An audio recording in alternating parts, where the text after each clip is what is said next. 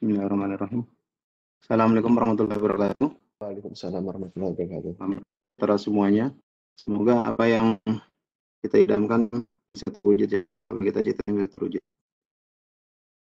Salam tak lupa kita junjungan kepada Nabi besar kita Nabi Muhammad Sallallahu Alaihi Wasallam atas nikmat Islamnya kita bisa berada di sini dan kita juga melakukan ini semata-mata mengharap ridhonya dan bisa menjadi umat kebanggaan Nabi Muhammad. Semoga ilmu yang kita berikan selama ini sampai detik ini dan sampai seterusnya bisa buat bermanfaat buat rekan-rekan kalian semua ya.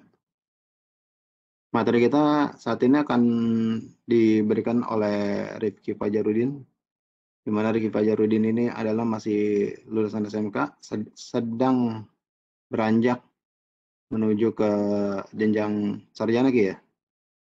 S1 apa S3? Apa? S1.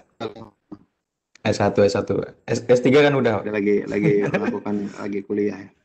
Nah, saat ini ada segmen routing di mana segmen routing ini itu apa kekinian ya. Belum apa itu segmen routing ya? Mungkin aku coba brief dulu. Segmen routing itu adalah transport teknologi ya, ya dia buat buat di telco provider nah, karena mungkin ada keterbatasan yang lain dan peningkatan untuk dari MPLS And, nah, udah mulai banyak beberapa profesi ini.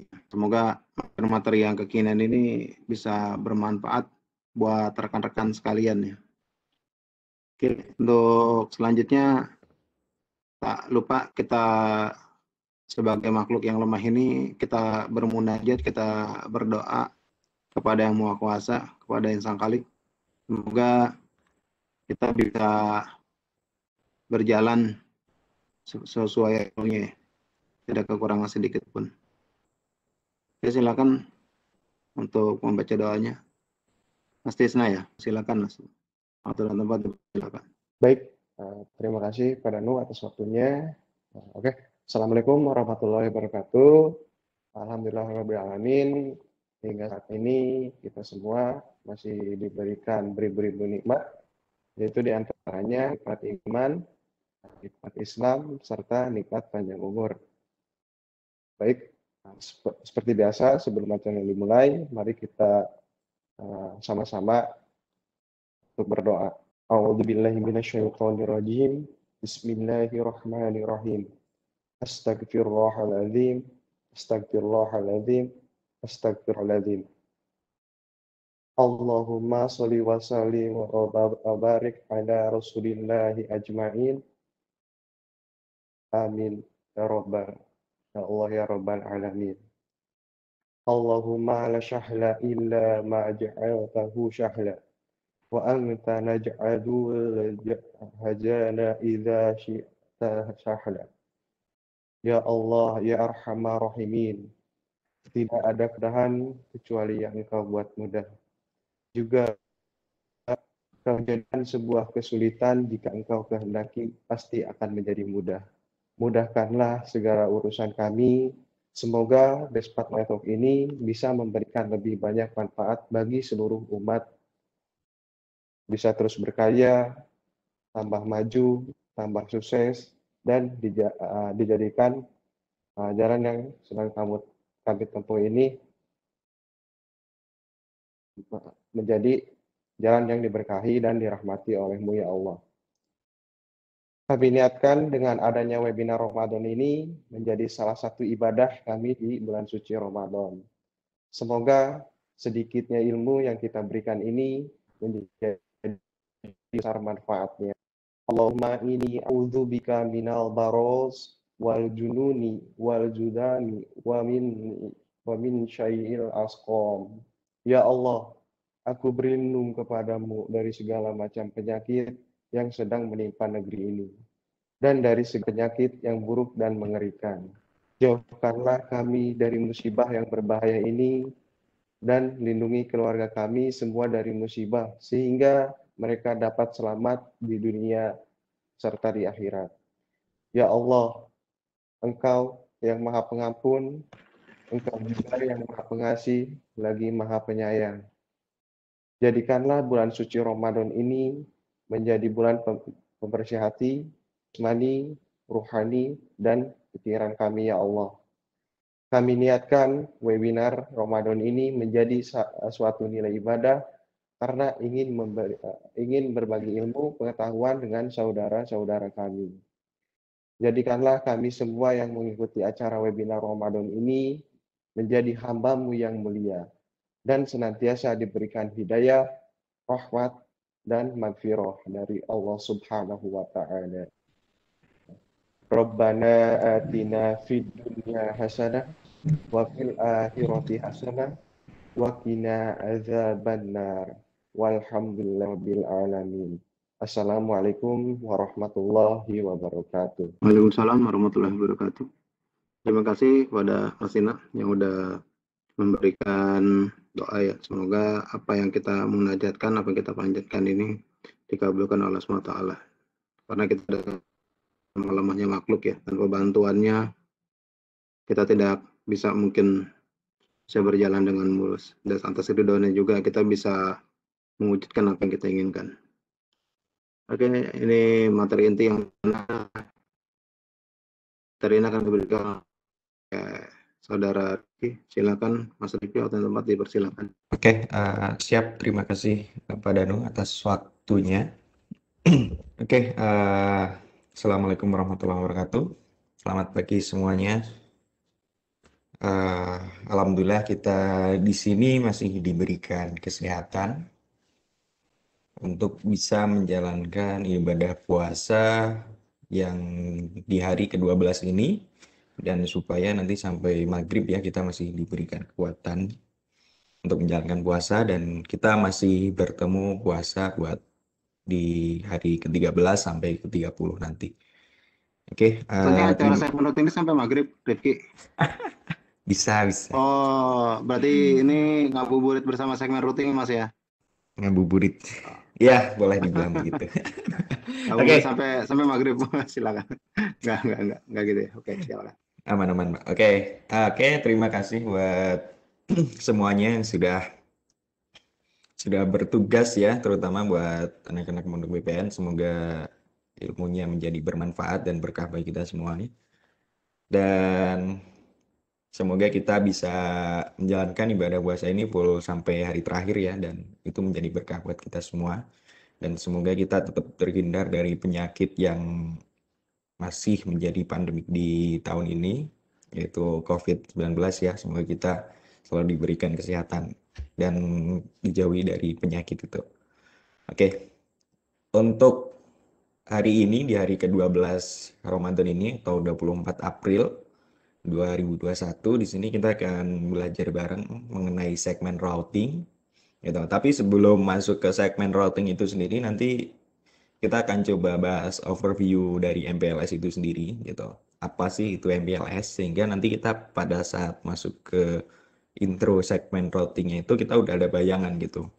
Apa perbandingan dari traditional network MPLS dengan segmen routing gitu sehingga nanti kita bisa menyimpulkan uh, keuntungan dan kekurangannya gitu. Oke. Okay.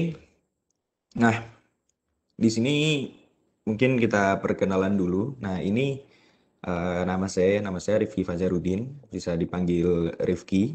Nah, untuk nama yang dalam kurung itu nama Bejo itu itu pemberian nama dari guru saya yang ada di Klaten atau bisa disebut juga Mbak Suro, mungkin ada yang kenal juga dari BLC Telkom Klaten. Itu salah satu guru saya juga. Nah, untuk alamat uh, saya, saya di, di Kedikten Pelantungan di Jawa Tengah atau di Kendal. Kemudian untuk alamat saat ini saya di Karawaci atau Karumnas di Tangerang ya. Jadi kalau ada teman-teman yang di Jabodetabek kalau mau silaturahmi bisa ke Bespet Network gitu. Untuk email saya bisa dihubungi di review fajar at gmail atau rifki fajarudin at bestpetnetwork.com dan di sini ada beberapa pencapaian saya yang udah saya ambil ada mulai dari netekat instructor untuk beberapa modul CCNA dan juga CyberOps dan juga yang terbaru yaitu untuk DevNet. Jadi kalau teman-teman ada yang minat bisa kontak untuk ngikutin course-nya. Kemudian untuk certified sendiri untuk di level Cisco udah ada level spesialis yang dulunya CCNP. Kemudian untuk di Juniper ada spesialis juga, terutama di service provider. Kemudian untuk Mikrotik sudah MT Sine dan juga untuk Nokia kemarin ngambil yang NRS 1 pas lagi promo. Jadi nggak keluar biaya. Oke. Okay. Kalau ada yang mau ngeliat profil lengkap saya bisa cek di LinkedIn. Ada LinkedIn slash in slash Rifki FR atau mungkin kalau ada yang mau uh, direct message atau DM bisa ke Telegram saya atau ke Instagram ataupun ke Facebook gitu. Semuanya aktif jadi aman. Oke. Okay. Untuk agenda pagi ini kita akan coba belajar di sini ada apa sih itu MPLS MPLS itu sendiri, kemudian perkembangan MPLS dari masa ke masa, kemudian ada MPLS arsitektur, apa Eh, komponen-komponen apa aja yang ada di MPLS itu sendiri. Nah, kemudian ada MPLS label, kemudian MPLS LSP, bagaimana si MPLS itu melakukan forwarding paket di dalam MPLS network. Kemudian setelah itu kita akan belajar mengenai segmen routing, kemudian ada IGP segmen, apa itu IGP segmen dan juga ada sRGB. Nah, RGB ini apa? Eh, mungkin red, green, blue mungkin atau ada yang lain? Itu yang warna-warna kayak di gaming gitu ya. Oke. Kemudian ada segmen routing advantage yang nanti kita akan cek perbedaan dari traditional network dan juga uh, segmen routing network. Oke, mungkin uh, langsung aja di sini kita masuk ke pembahasan. Nah, apa itu MPLS? Nah, mungkin sebelum kita masuk dari uh, attendance atau yang lain ada yang mau menjawab apa itu MPLS? MPLS Masa pengenalan lingkungan sekolah kah, Pak? Nah, bisa jadi tuh. Oh, oke. Okay. Untuk peserta didik baru. oh iya, iya Pak, iya Pak, iya Pak. Nah, MPLS itu sendiri adalah yang sering kita ketahui atau sering disebut oleh dunia itu kita multi protokol. M-nya itu multi, P-nya protokol. Lanjut ke slide berikutnya nih. Ntar kita previs dulu. Nah, MPLS itu apa sih itu? MPLS itu M-nya itu multi ya, multi multi protokol. Nah, labelnya L-nya itu label. Nah, S-nya itu switching. Nah, MPLS itu multi protokol label switch gitu. Nah, bisa dibilang seperti itu. Multi protokol itu berarti kita bisa melewatkan banyak protokol di dalam jaringan MPLS. Nah, secara garis besar itu kita bisa melewatkan ya entah itu L3 ataupun L2 service. Nah, tulisannya naik, mau muncak deh. Ada L3 service ataupun L2 service itu multi protokol. Jadi kita di situ bisa ngelewatin VLAN, bisa ngelewatin IP, bisa metro, bisa polosan L2 aja gitu. Nah, kita bisa di situ. Nah, kemudian label ini, label switching itu berarti dia hop by hop di dalam arsitektur MPLS-nya. Dia ngelihatnya itu bukan ngelook up uh, eh, IP next hop, tapi dia ngelook up uh, label gitu. Nah, label itu nanti kerjanya gimana nanti kita akan bahas juga di slide berikutnya ada. Gitu.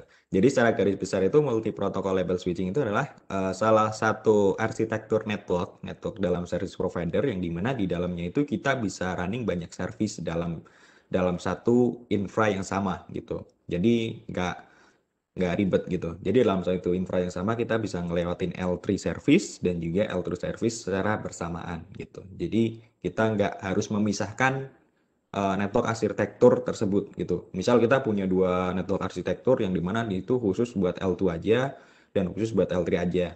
Nah kalau dananya banyak nggak apa-apa gitu. Tapi kalau misal dananya minimalis kita bisa memanfaatkan MPLS buat melakukan running L2 atau L3 service di dalam satu infra yang sama.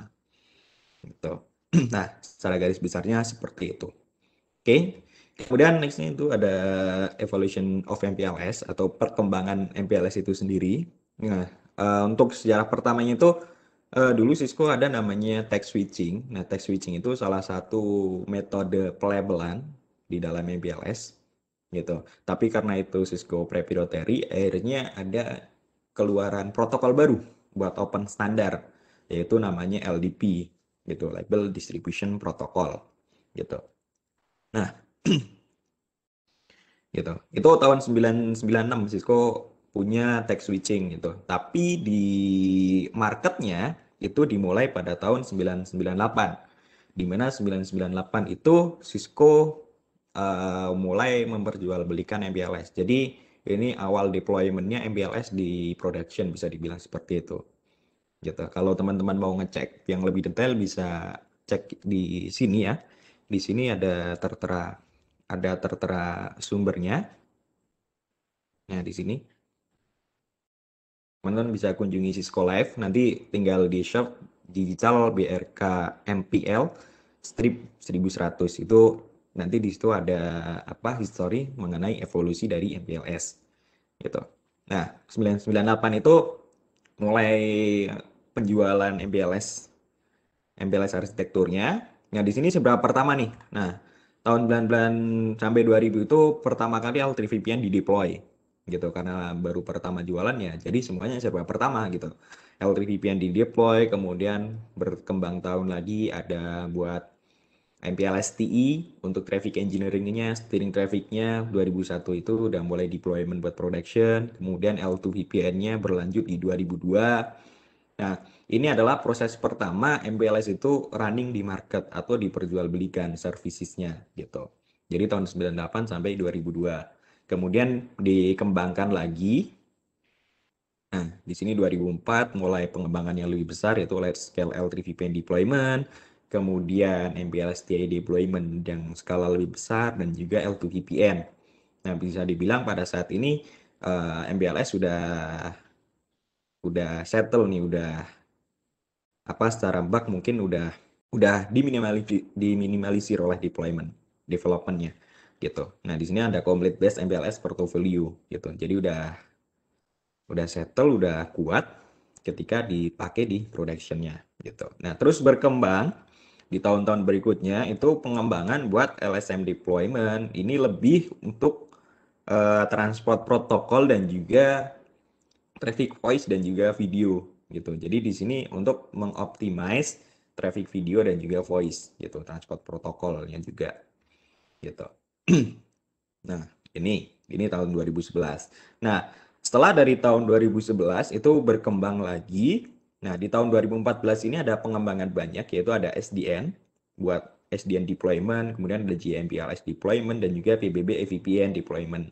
Gitu. Dan itu ada di tahun 2014. Nah, EVPN ini yang sering kita dengar itu kalau sekarang lebih sering dipakai buat teknologi data center gitu buat komunikasi antar spine leaf gitu. Kalau misal teman-teman kemarin uh, mengikuti webinarnya dari Mas Zairif atau Mas Amri itu kan dia menjelaskan uh, VXLAN.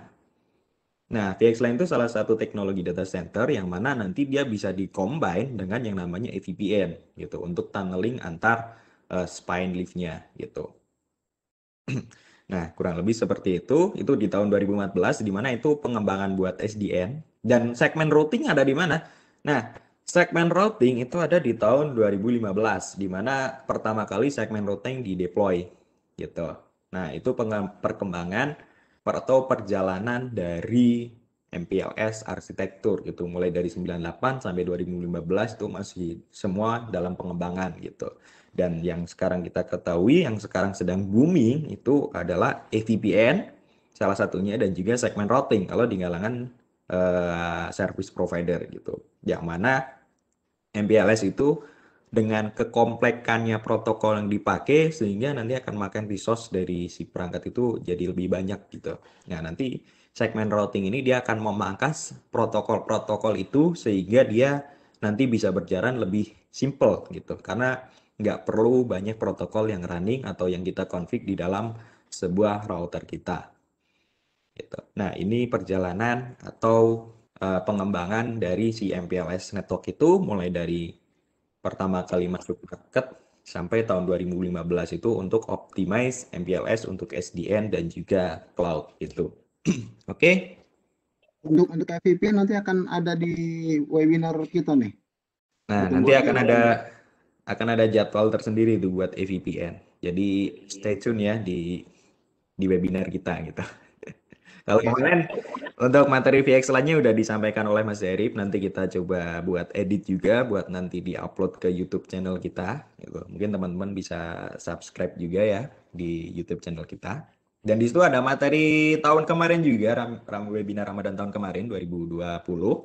Jadi teman-teman kalau ketinggalan bisa cek di situ di YouTube kita di Bestpad Network gitu. Nah, untuk EVPN nanti kita coba upload dan untuk EVPN nanti di next webinar akan disampaikan oleh teman-teman Bestpad juga gitu. Jadi tetap tunggu jadwalnya dan kita belajar bersama pokoknya gitu. Jadi memanfaatkan waktu pagi kita supaya nggak langsung tidur nih. gitu.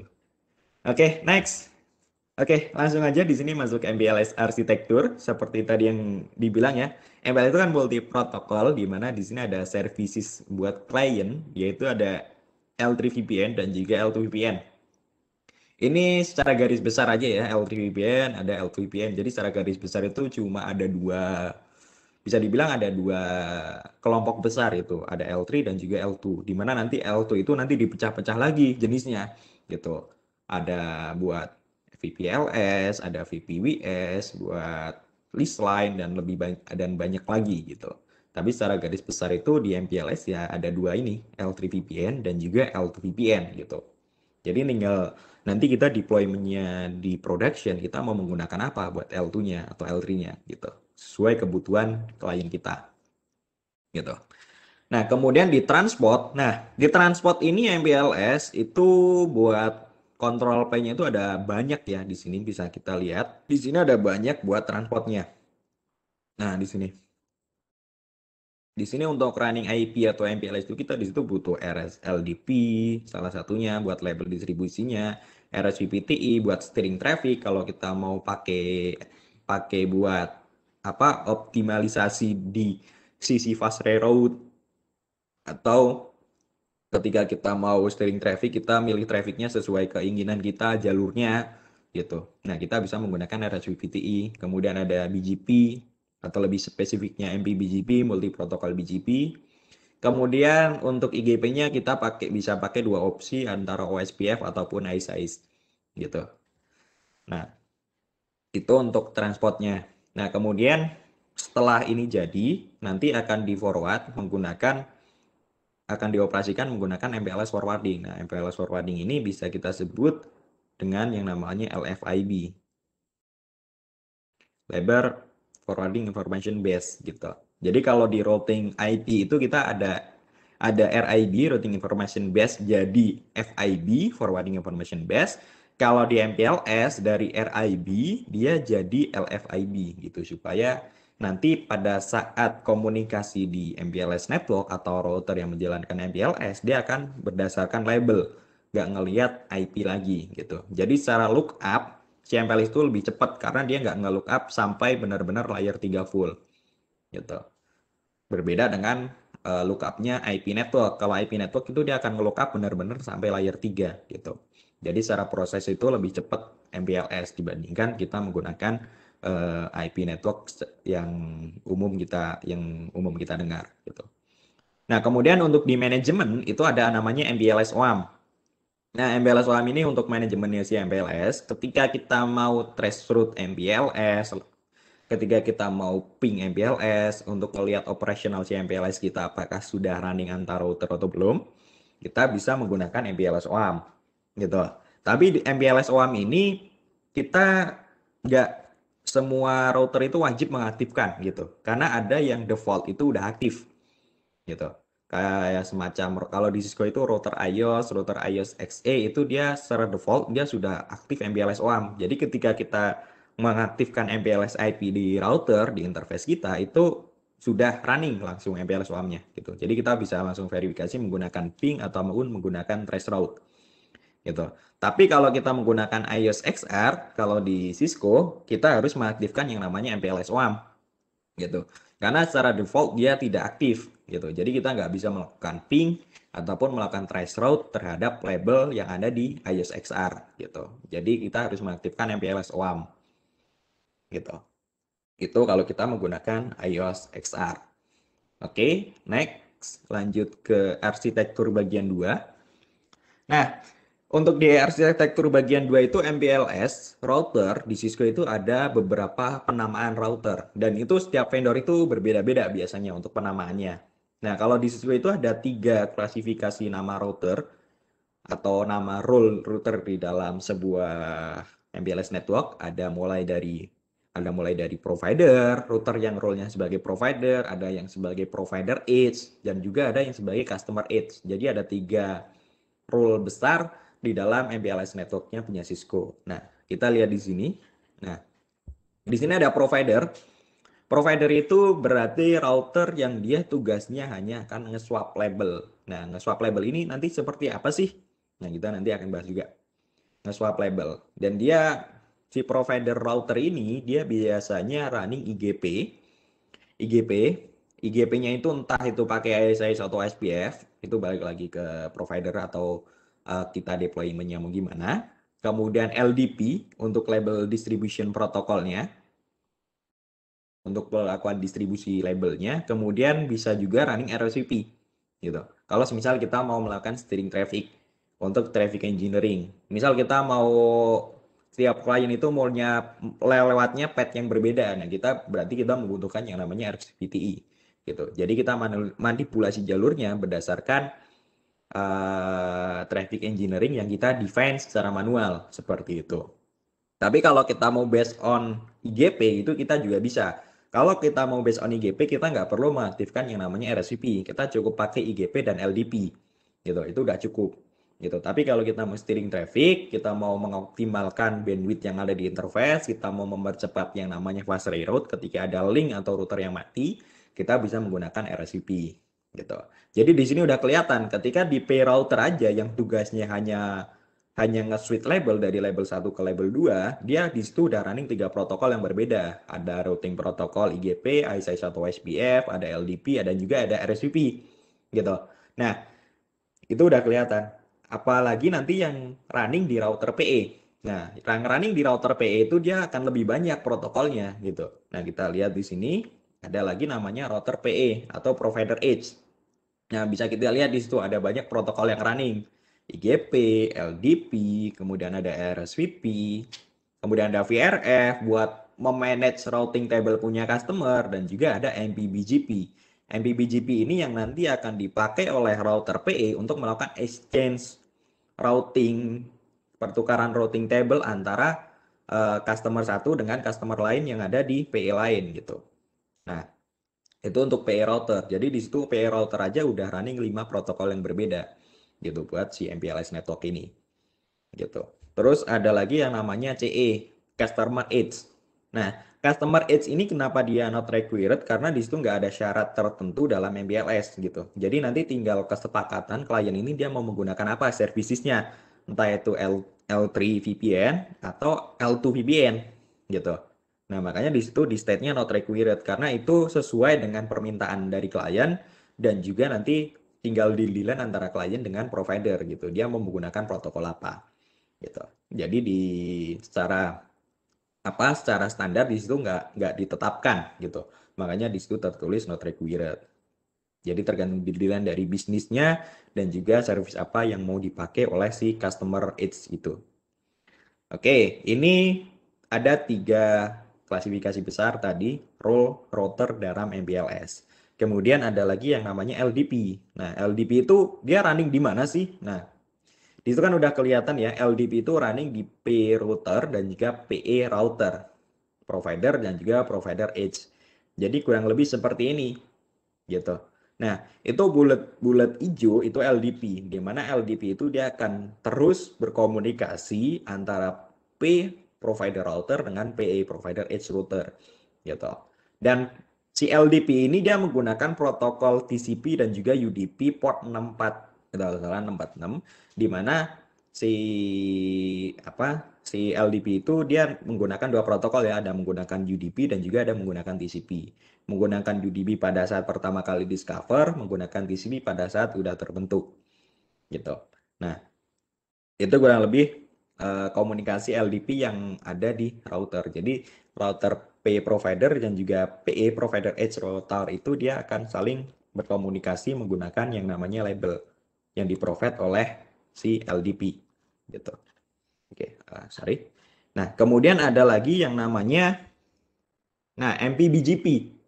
Nah, MPBGP ini yang digunakan oleh PE untuk komunikasi dengan PE lain untuk melakukan bertukar untuk bertukar routing table antar klien gitu. Tukar routing table-nya dia menggunakan MPBGP, menggunakan VPN v4, VPN v4 atau VPN v6 yang ada di uh, eh, BGP gitu. Makanya di situ disebutnya MPBGP multi protokol BGP. Jadi di situ kita bisa running VPN v4, kita bisa running VPN v6 untuk customer kita. Gitu. Jadi lebih lebih aman gitu. Karena nanti setiap customer itu nanti juga dipisah gitu. Dipisah buat uh, routing table-nya. Routing table customer nanti bisa menggunakan yang namanya VRF. Nah, bisa kita lihat di situ ada CE Communication di mana uh, kertas kuning itu nanti dia pada saat komunikasi apa antar PE, nah dia akan dilewatkan via MPBGP gitu. Jadi nanti si routing table punya customer, punya customer satu, punya customer dua itu nggak akan jadi satu gitu. Jadi nggak akan jadi satu dengan punya customer lain dan juga punya si provider itu sendiri gitu. Otomatis kalau provider itu sendiri maka dia akan berada di routing global, routing global punya dia gitu. Dan itu nggak mungkin di exchange ke customer gitu. Makanya di situ dikelompokkan menggunakan VRF, virtual route forwarding gitu. Jadi nanti setiap customer itu dia punya bilik-bilik khusus di dalam PE router gitu sehingga tidak terbaca oleh pelanggan lain atau punya punyanya routing si provider itu sendiri gitu. Jadi udah ada ruangan atau sekat masing-masing di setiap PE routernya gitu. Nanti tinggal di label VRF-nya itu apa? Misal misal customer customer satu dia labelnya biru, customer dua labelnya kuning, customer tiga labelnya merah gitu dan dia udah ada punya ruangan masing-masing gitu. Nah, kurang lebih seperti itu. Kemudian yang terakhir, kalau kita mau lebih kompleks, kita di sini bisa menggunakan yang namanya RSVP. Nah, RSVP ini kurang lebih seperti ini. Jadi, misal PE provider 1, provider 2 itu kita nambah link lagi. Kemudian di situ kita melakukan steering traffic gitu. Nah, kurang lebih seperti ini.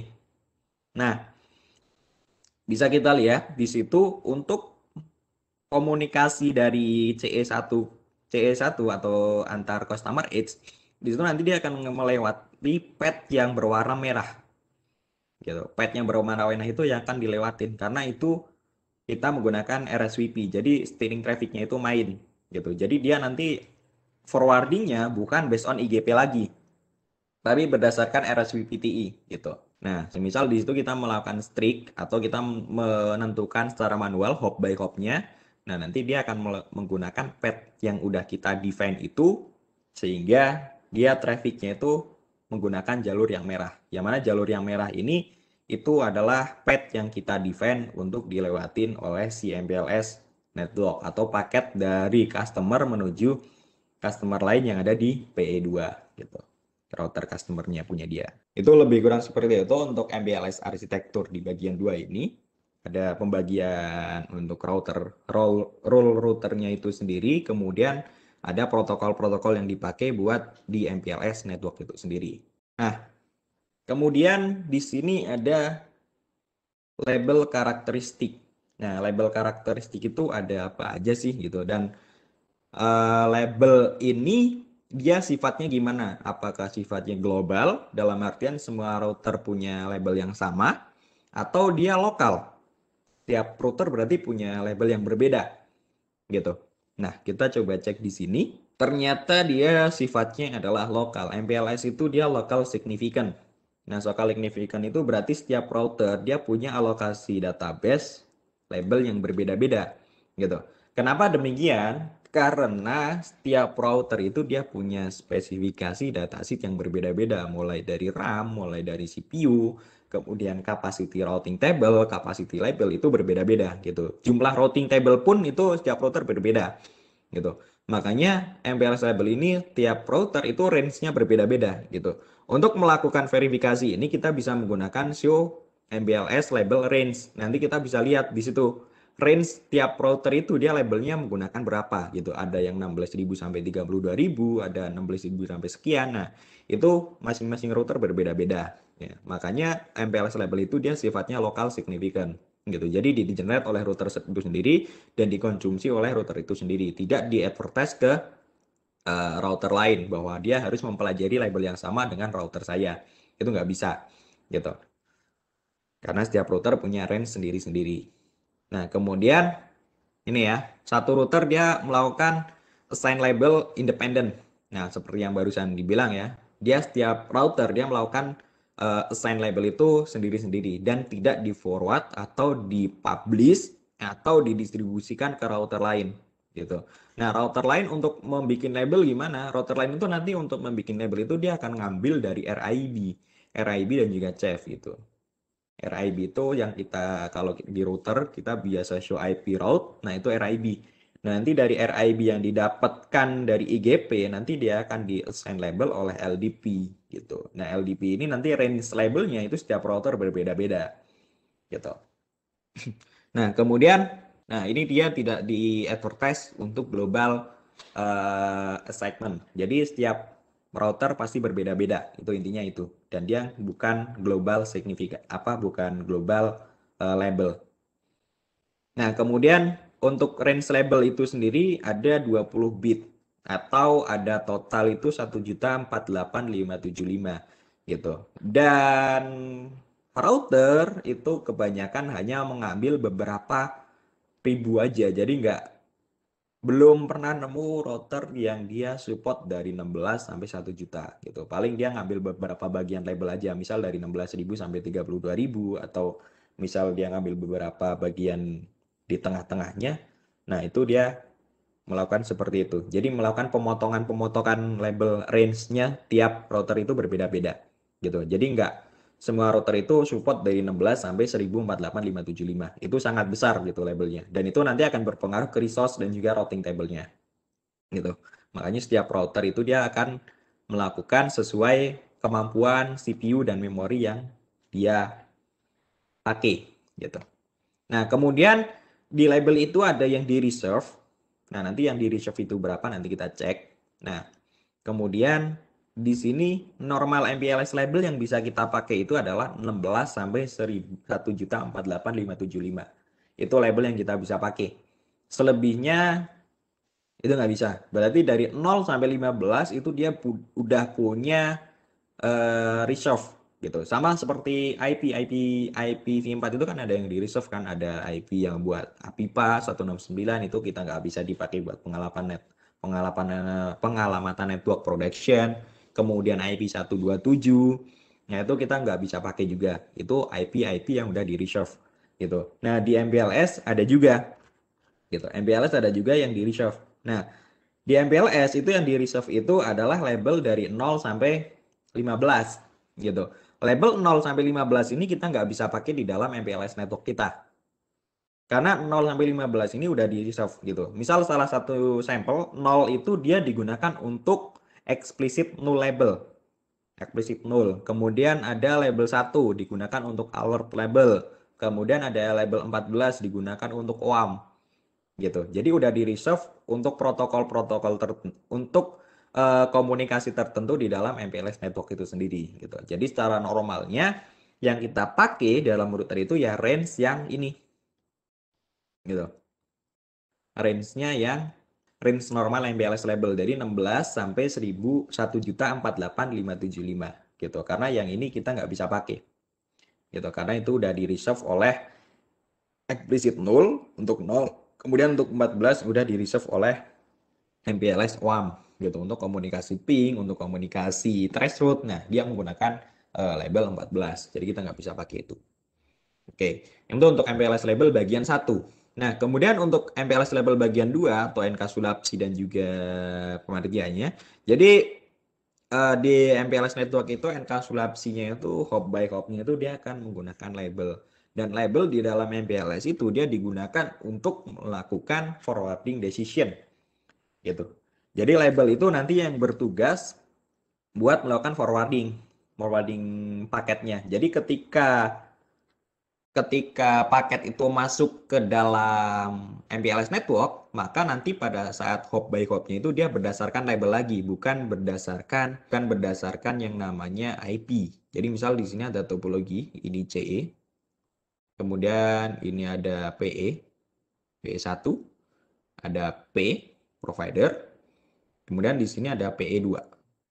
Nah, kemudian di sini berarti ada CE lagi, juga sama. Nah, CE ini komunikasi ke PE dia menggunakan paket biasa. Nah, itu di sini L2 ataupun L3 service. Ini bentuknya masih uh, paket pada umumnya. Kalau L3 berarti ya IP, kalau L2 berarti ya VLAN, misal seperti itu. Nah, nah pada saat masuk ke PE, karena PE ini ini adalah batas antara IP network biasa atau L2 biasa dengan yang namanya MPLS network. Dan pada saat paket masuk ke PE, nah nanti di sini komunikasi antara hop by hop MPLS network itu nanti dia berdasarkan label. Jadi pada saat dia udah masuk ke sini, si L2 atau L3 service, jadi nanti pada saat PE mau komunikasi ke PE2, dia kan akan melewatin yang namanya uh, P router Nah, pada saat komunikasi ke pair router, dia di sini sudah menggunakan yang namanya label. Begitupun dari P ke PE2, dia menggunakan label. Gitu. Jadi secara cara forwarding decision, jadi pada saat paket itu udah masuk MPLS network, dia bukan ngelihat lagi namanya next hop IP, tapi label yang akan digunakan sebagai next hopnya gitu. Nah, nanti pada saat di sini udah sampai ke PE2, ke customernya gimana? Nah, ke customernya nanti label ini akan dicabut dan nanti pada saat di forward ke CE dia bentuknya sudah L2 atau L3 lagi gitu. Jadi seperti itu kurang lebih komunikasi label atau enkapsulasi label di dalam MPLS network gitu. Jadi di sini ingressnya pada saat ingress pada saat ingress pada saat ingressnya dia akan di apa? Pada saat ingressnya dia akan di dibuat label dan pada saat egressnya dia labelnya akan dicabut. Gitu.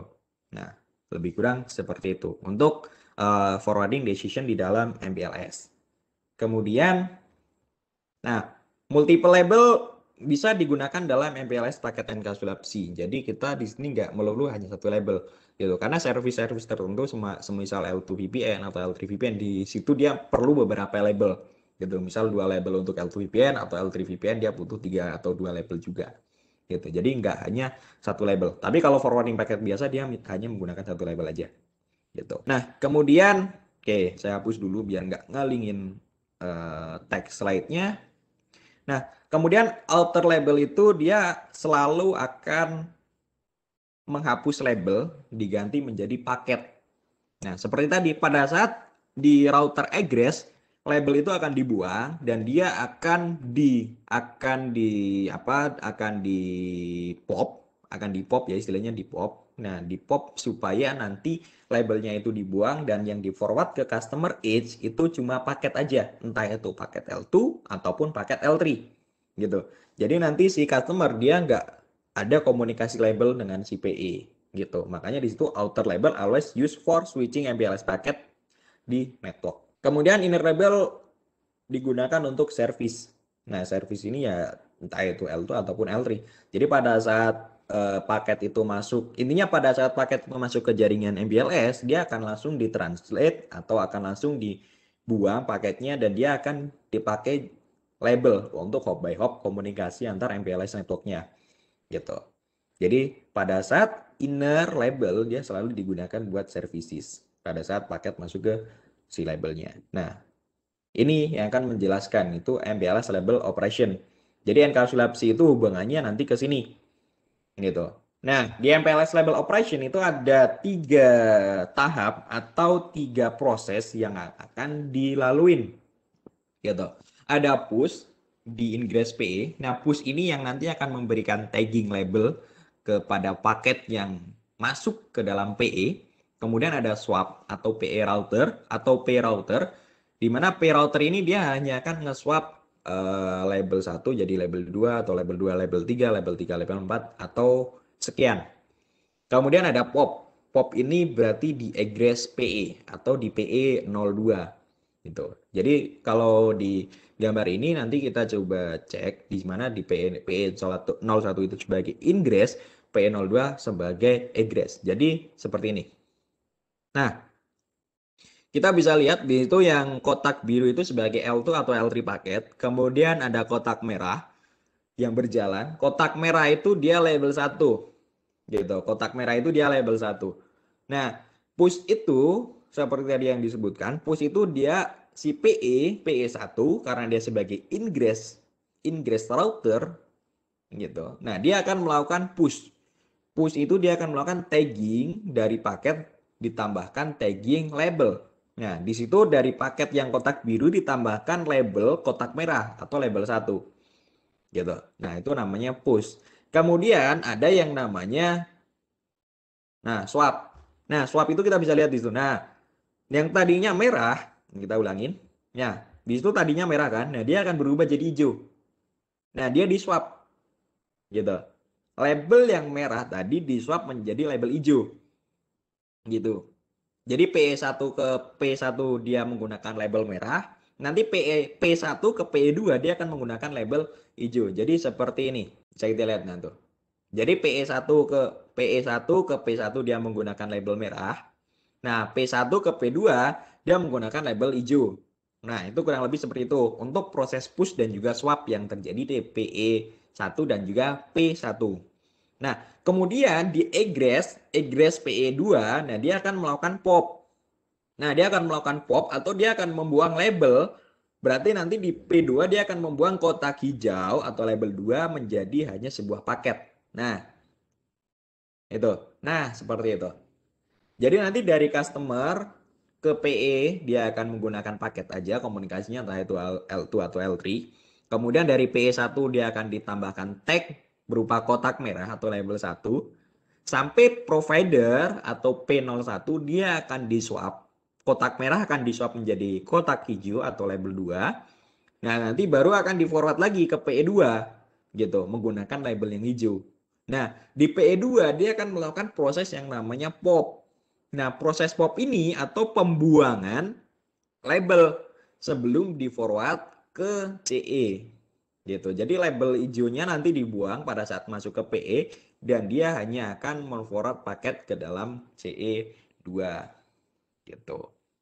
Nah, itu yang akan terjadi di MPLS label operation atau bisa disebut dengan LSP, label sweet pad yang dilakukan di MPLS network itu apa aja.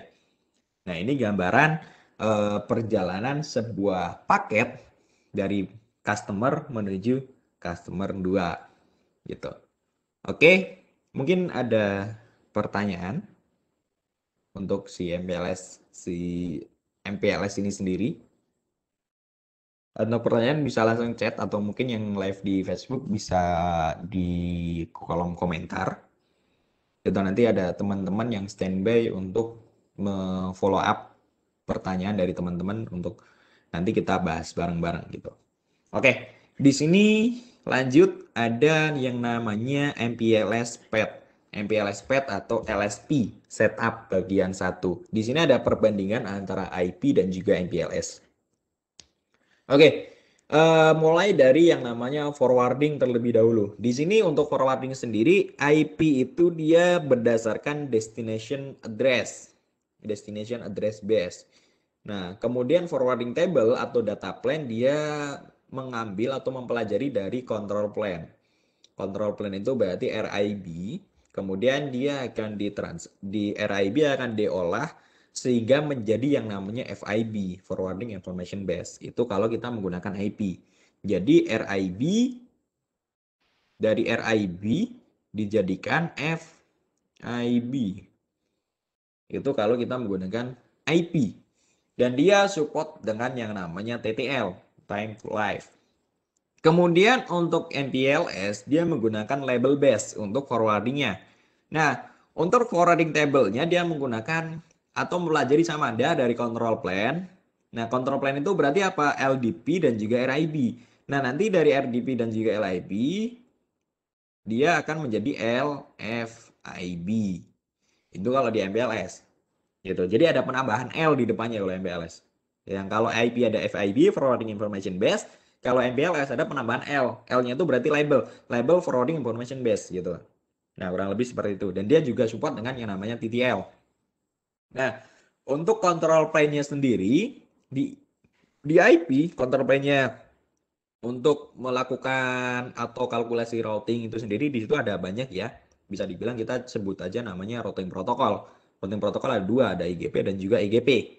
Nah, tapi di sini saya tuliskan hanya tiga aja, yaitu ada OSPF, ISIS, atau BGP. Tapi kalau teman-teman misal ada yang lain ya, itu opsi gitu. Kan ada banyak routing, ada RIP, ada static ada IGRP gitu. Nah, Kemudian di MPLS itu ada control plane-nya itu ada LDP. LDP itu Label Distribution Protocol, di mana dia untuk melakukan distribusi label setiap router. Kemudian ada RSVP untuk Traffic Engineering. Kemudian ada BGP. Kalau BGP kita bisa menggunakan BGP LU atau Label Unicast. Kemudian atau kita bisa menggunakan OSPF atau ISIS gitu. Atau kita menggunakan IGP. Nah itu ada beberapa opsi ketika kita menggunakan MPLS gitu. Tapi secara protokol jadi lebih banyak yang dipakai. Gitu. Sebenarnya MPLS itu simple karena kita di situ hanya mengaktifkan MPLS OSPF, IGP dan juga LDP gitu. Tapi nanti akan lebih kompleks ketika pada saat kita menggunakan yang namanya RSVP gitu. Nah, kemudian untuk paket enkapsulasinya, kalau IP dia hanya menggunakan IP header, di situ nanti di dalamnya IP header itu berarti ada IP destination, IP source, kemudian protokol yang kita pakai IPv4 atau IPv6. Gitu. Tapi kalau di label di situ dia akan menggunakan label untuk enkapsulasinya satu atau more label gitu. Paket biasa berarti satu kalau misalnya untuk L3 service atau L2 service dia butuh dua atau tiga label gitu. Nah, untuk QoS-nya di sini ada 8 bit TOS di field dalam IP header yang bisa kita pakai buat QoS. Nah, kalau di MPLS kita bisa menggunakan 3 bit apa di apa di label di field in label 3 bitnya kita bisa bukan untuk QoS dan untuk OAM-nya untuk verifikasi. Nah, kalau di IP kita bisa menggunakan IP ping ataupun trace route. Tapi kalau di MPLS kita harus mengaktifkan namanya MPLS, MPLS OAM. Kalau kita menggunakan iOS XR, tapi di beberapa router iOS dan juga iOS XE dia default sudah aktif. Nah, OAM itu berarti uh, operational, administratif sama maintenance gitu. Jadi kita harus mengaktifkan itu ketika kita mau trace route atau ping dan nanti kita ngelihat di situ hasilnya ada label gitu. Itu untuk perbandingan MPLS setup antara IP dan juga MPLS. Nah, kemudian lanjut. Nah, untuk di sini MPLS pad di bagian 2 ini ada yang namanya LDP dan juga RSVP. Gitu. Nah, untuk forwarding pad-nya itu sendiri LDP itu dia berdasarkan LSP label suite pad yang sudah dibangun menggunakan IGP dan juga LDP sehingga menjadi label atau LFIB label forwarding information base. Tapi kalau TE di sini kita bisa based on LSP atau berdasarkan tunnel yang kita bikin. Gitu. Tunnel itu nanti kita bisa bikin buat tunnel primary dan juga tunnel backup. Gitu. Jadi secara proteksi RSVP itu dia lebih unggul dibandingkan kita hanya menggunakan LDP atau IGP gitu. Tapi ya balik lagi otomatis ketika kita menggunakan RSVP berarti jaringan kita lebih kompleks karena salah satunya kita merunning protokol yang lain gitu. Nah, kemudian untuk forwarding kalkulasinya eh, LDP itu dia berdasarkan dalam routing database. Routing database ini ya tergantung kita menggunakan routing apa gitu. Kalau menggunakan OSPF berarti dia menggunakan short path first gitu, jalur yang tercepat gitu. Nah, kemudian kalau RSVP dia menggunakan topologi database, TE topologi database, shortpath, atau menggunakan JSPF, constrained constraint shortpath first gitu. Constraint shortpath first atau disebut dengan JSPF gitu. Nah, nanti RSVP itu ketika kita menggunakan TE dia akan ada komunikasi point to point antar PE router atau kita bisa sebut dengan head end dan juga tail end kepalanya siapa, buntutnya siapa, atau ekornya siapa. Gitu. Jadi nanti sebelum paket itu dikirimkan ketika kita menggunakan RSVP dari tunnel dari PE1 ke PE2 misal seperti itu. Nah, misal seperti ini. Ini di sini, nah ini ada PE 1, ini ada P router, ini ada PE 2. Nah, ketika kita di sini menggunakan RSVP, misal di sini pakai tunnel, tunnel TE. Nah, nanti pada saat paket itu mau dikirimkan, misal dari PE1 ke PE2, karena RSVP ini yang menggunakan JSPF, atau dia menggunakan komunikasi head end dan juga tail end. Nah, nanti di sini tuh kepalanya siapa, ekornya siapa, gitu. Ya nanti seperti ini. Ini misal ini headnya. Kemudian misal dari PE1 ini mau komunikasi ke customernya yang ada di PE2, nah nanti PE1 ini dia nggak akan langsung nge-forward label atau nge-forward paket itu langsung ke PE2. Tapi dia akan ada komunikasi dulu ke sini, ini komunikasi pertama. Komunikasi pertama dia akan komunikasi ke sini ke TLN-nya. Baru nanti dari sini dia akan nge-replay lagi. Nah, jadi ada komunikasi tambahan gitu ketika kita menggunakan RSVP. Jadi dia akan komunikasi ke TL-nya dulu untuk mendapatkan label, baru nanti setelah mendapatkan label paket itu akan di-forward. Tapi kalau kita menggunakan LDP, paket itu akan langsung di-forward gitu. Nah, kurang lebih seperti itu ketika kita menggunakan RSVP TI dan di situ kita mengaktifkan yang namanya tunnel TE atau tunnel traffic engineering gitu. Nah, paket encapsulation-nya itu kalau LDP dia menggunakan single label, kalau RSVP itu dia menggunakan satu atau dua label. Nah, untuk signalingnya si LDP itu kita hanya menggunakan routing protokol, routing protokol yaitu existing routing protokol. Kemudian untuk RSVP itu dia initiate by head end node ke tail end node. Nah, seperti yang yang ini ya, yang garis hijau dari tail end dari head end ke tail end. Jadi sebelum paket di forward itu dia akan ada komunikasi dulu untuk nge-initiate atau ngebuat atau meminta label yang akan digunakan untuk forwarding forwarding paket via RSVP gitu. Nah, kemudian dia juga menggunakan routing protocol extension atau informasi. Kemudian ada support bandwidth reservasi. Jadi di interface router kita bisa nge-reserve bandwidth yang mau kita pakai buat RSVP. Kita mau pakai berapa persen dari total uh, capacity interface-nya. Kemudian dia support link atau node protection. Gitu. Nah, link atau node protection ini nanti dia yang akan mempercepat yang namanya fast reroute ketika ada router yang mati ataupun traffic ataupun link yang mati. Gitu. Sedangkan kalau LDP dia nanti fast reroute-nya itu dia based on LDP aja, eh based on IGP, sorry. Gitu. Jadi ketika ada ada link yang mati atau router yang mati ya udah dia ngelihat IGP. IGP-nya itu dia mampu berapa second untuk melakukan recovery gitu. Tapi kalau di RSVP dia support link atau not proteksi. Jadi secara bisa dibilang untuk file overnya dia lebih cepat dibandingkan kita menggunakan IGP dan juga LDP aja gitu.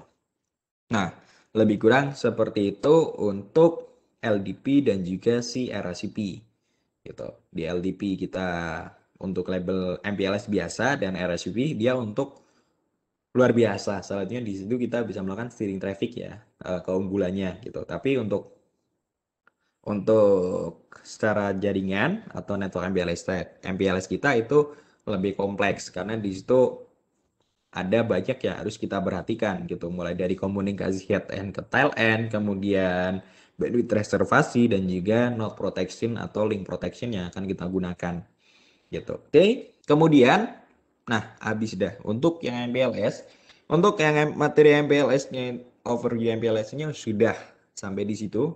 Jadi MPLS-nya tadi kita cuma uh, bagaimana MPLS itu berjalan ya, terutama buat uh, untuk label labelnya, label yang berjalan di MPLS. Nah, kemudian di sini kita akan langsung masuk ke yang namanya segmen routing. Di sini kita akan masuk ke segmen routing. Mungkin ada ada pertanyaan dulu. Oh, gini ada pertanyaan. Oke, mungkin ada pertanyaan dulu untuk yang MPLS. Sebelum kita masuk ke segmen routing. Jadi nanti di segmen routing ini kita akan coba introduction ya, uh, apa itu segmen routing. Kemudian Eh, bagaimana komunikasi paket atau forwarding paket di segmen routing itu sendiri. Dan segmen routing itu sendiri sebenarnya dia sama gak sih forwardingnya dengan IP ataupun dengan MPLS. Karena kalau kita lihat IP itu dia berdasarkan destinasi dan juga si MPLS itu berdasarkan label juga destination gitu. Nah, si segmen routing itu nanti gimana komunikasinya? Nanti kita coba cek. Oke? Ini bisa lanjut dulu aja. Siap, siap. pertanyaan. Kita lanjut ke segmen routing. Nah, di segmen routing ini apa itu segmen routing? Nah, ini ya, eh, segmen routing itu secara garis besar mungkin kita bisa langsung bilang aja bahwa segmen routing itu adalah source routing. Nah, apa itu source routing? Nah, source routing itu dari source routing aja kita udah berbeda harusnya dengan forwarding pada IP ataupun MPLS. Jadi dia forwardingnya itu berbeda gitu.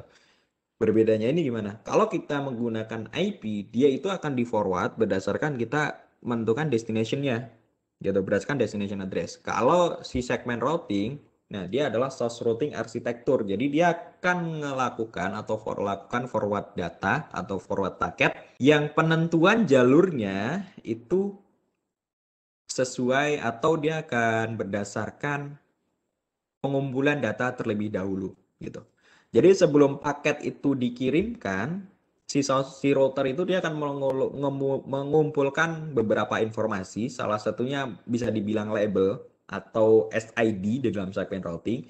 Dia akan dikumpulkan dulu identitas-identitas tiap router. Yang mana nanti identitas router itu atau list identitas router itu yang akan digunakan untuk melakukan forwarding paket. Gitu. Jadi secara garis besar komunikasi di segmen routing itu udah berbeda dengan yang namanya IP dan juga MPLS karena dia menggunakan yang namanya source routing gitu. Dan dia juga untuk menyebarkan dari distribution intelligent dan juga centralized optim optimalisasi atau optimization. Nah, centralized optimization ini adalah menggunakan SDN controller gitu. Karena kalau kita cek di traditional network, misal LDP, RSV dan yang lainnya dia belum support untuk uh, centralized optimalisasi gitu. Nah, dengan adanya segmen routing, yang mana segmen routing ini nanti akan membantu uh, provider sehingga dia bisa nanti menggunakan yang namanya controller gitu. Dan isunya lagi nanti akan bergabung dengan yang namanya Epic atau ACI kalau di Cisco. Jadi nanti segmen routing itu nanti bisa dikontrol menggunakan itu gitu. Nanti komunikasinya semuanya data center atau menggunakan SDN atau nanti tergabung dengan SDDC Cisco. Gitu. Itu kalau di Cisco. Nah, segmen routing ini nanti digunakan untuk melakukan distribusi services uh, untuk melakukan push config via controller atau collect data dari controller. Gitu. Makanya di sini ada centralized optimalisasi. Gitu.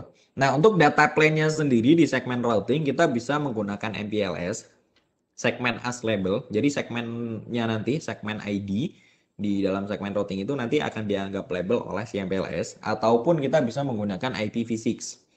Kalau kita menggunakan IPv6 nanti si segmen router itu dia udah ada field header di dalam IPv6 gitu. Jadi istilahnya ketika kita running IPv6 ya udah nanti kita tinggal running IGP dan secara langsung segmen routing itu ketika kita aktifkan di IPv6 dia akan langsung ditambahkan di header IPv6-nya gitu. Tapi kalau di IPv4 kita minta tolong terhadap MPLS untuk melakukan forwarding terutama forwarding untuk uh, segmen SID atau segmen labelnya gitu atau labelnya.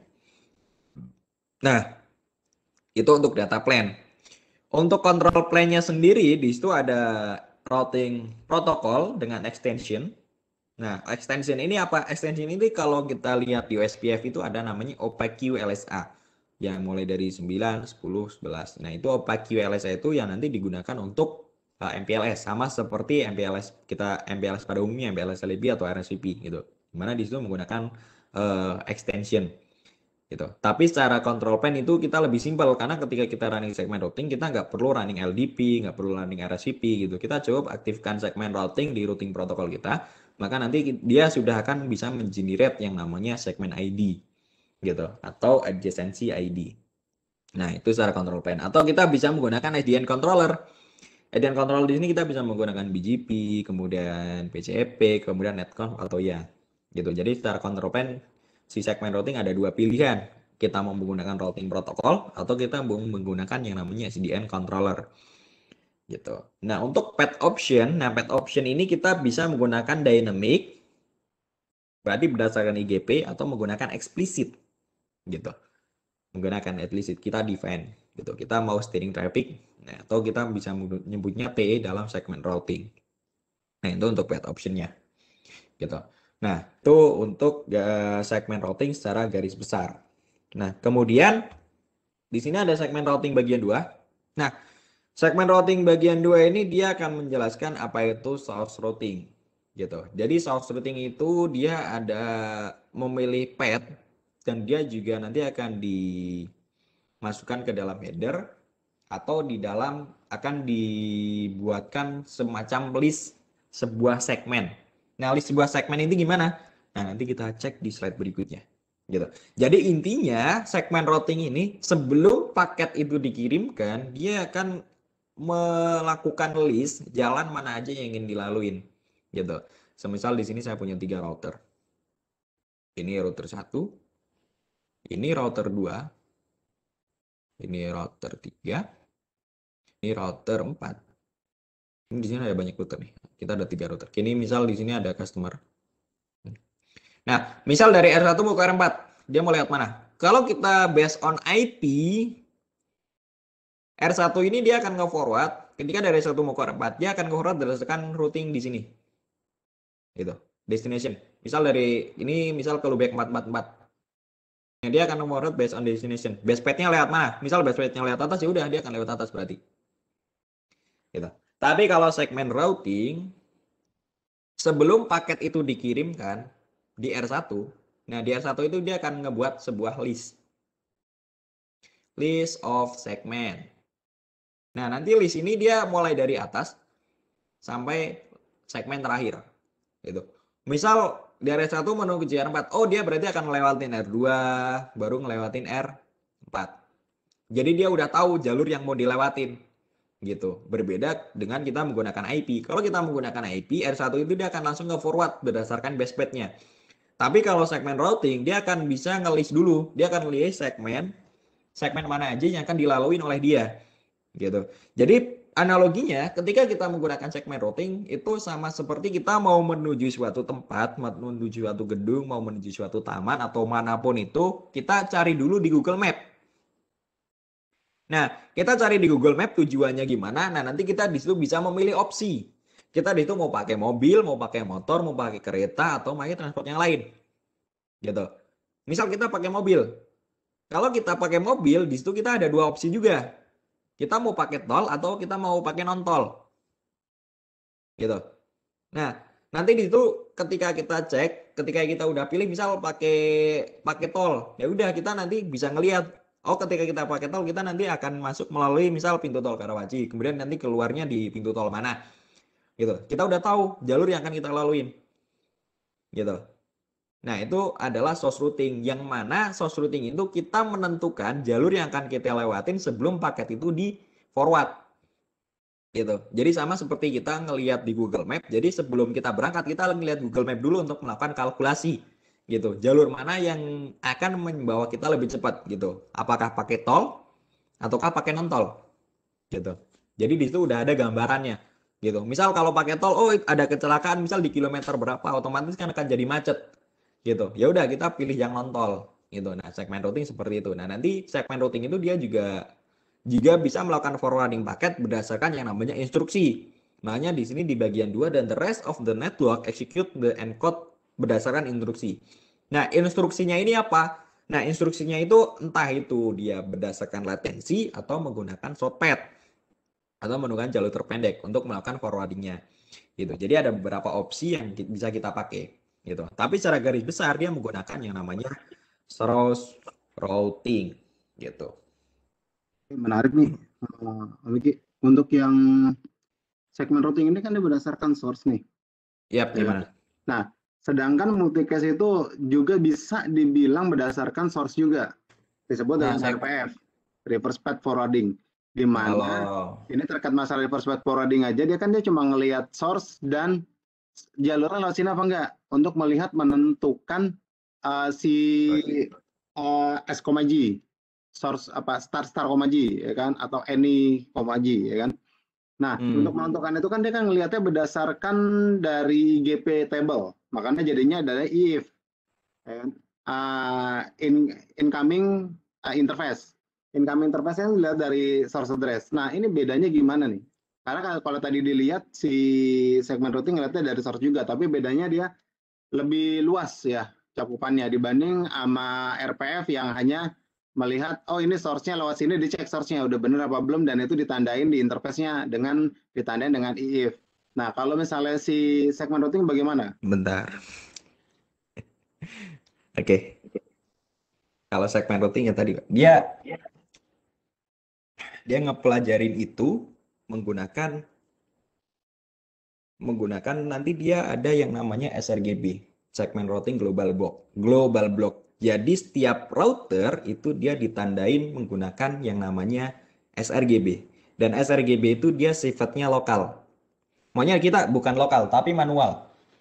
Gitu. Nah, sifatnya manual. Jadi kalau multicast kan dia tadi menandain via apa? Via source incoming kan? Via source incoming. Ya, dia kan bilang RPS itu kan source source base juga kan dia ngelihat dari ah, Kalau kalau multicast dari source kan? Kalau multicast dari source, dia untuk menentukan uh, menentukan source-nya jadi mana. Tapi kalau segmen routing, dia nanti menentukan dia list segmen ini sebelum paket di forward itu dari mana. Nah, dia akan ngelis itu berdasarkan yang namanya sRGB, segmen routing global block. Nah, segmen routing global block ini nanti dia akan ada di defense setiap router dan nanti setiap router itu dia punya identitas yang berbeda-beda gitu. Misal Misal kita lihat di topologi yang ini, saya aktifkan pennya dulu. Nah, ini kan di sini ada R1, R2, R3, dan R4. Nah, nanti setiap router ini dia akan diberikan yang namanya ID oleh segmen routing. Nah, misal R1 itu ID-nya misal 10, R2 20, R3 30, dan R4 ini 40. Nah, ID-ID ini nanti akan dimasukkan dalam sRGB. sRGB. Nah, sRGB ini nanti akan dipromot ke semua router gitu. Dan dia punya format yang sama gitu. Karena sRGB ini secara rekomendasi dari segmen routing itu setiap router yang ada di dalam jaringan segmen routing itu dia harus mempunyai blok yang sama atau range yang sama. Dan otomatis nanti database setiap router itu punya ID yang sama. Misal kita lihat ini dari kacamata R4 ini R4 atau R, eh, R1 aja karena R1 tadi yang mengirimkan paket dari R1. Nah, nanti di R1 dia akan ngelihat seperti ini. Misal kita karena segmen routing itu dia nanti range-nya dari 16.000 ya udah kita pakai 16.000 kepala 16. 16 0 10. Itu buat R1. Tapi karena S1 dia sendiri dia nggak akan lihat itu. Berarti di sini 16 0 20 16 0 30 16040. Ini adalah database segmen routing yang akan dipakai oleh router untuk nanti dia menentukan list atau router mana aja yang akan dilewatkan dilewati oleh paket.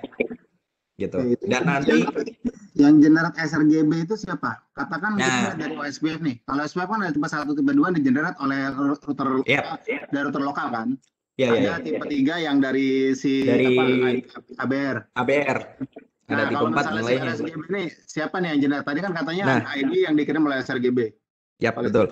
Nah, untuk sRGB ini dia di-generate oleh tiap router gitu. Oleh tiap router yang nanti akan didistri, didistribusikan via IGP gitu. Jadi nanti setiap router itu wajib menjalankan yang namanya sRGB. Jadi nanti setiap router itu dia harus mengaktifkan yang namanya range range global blocknya berapa, kemudian dia harus mengaktifkan segmen routing dan dia harus melakukan advertise prefix ID atau SRID ini di dalam interface loopback-nya. Gitu. Jadi ini nanti ini si database ini ya SRGB ini ID ini itu dia nempel dengan yang namanya interface loopback.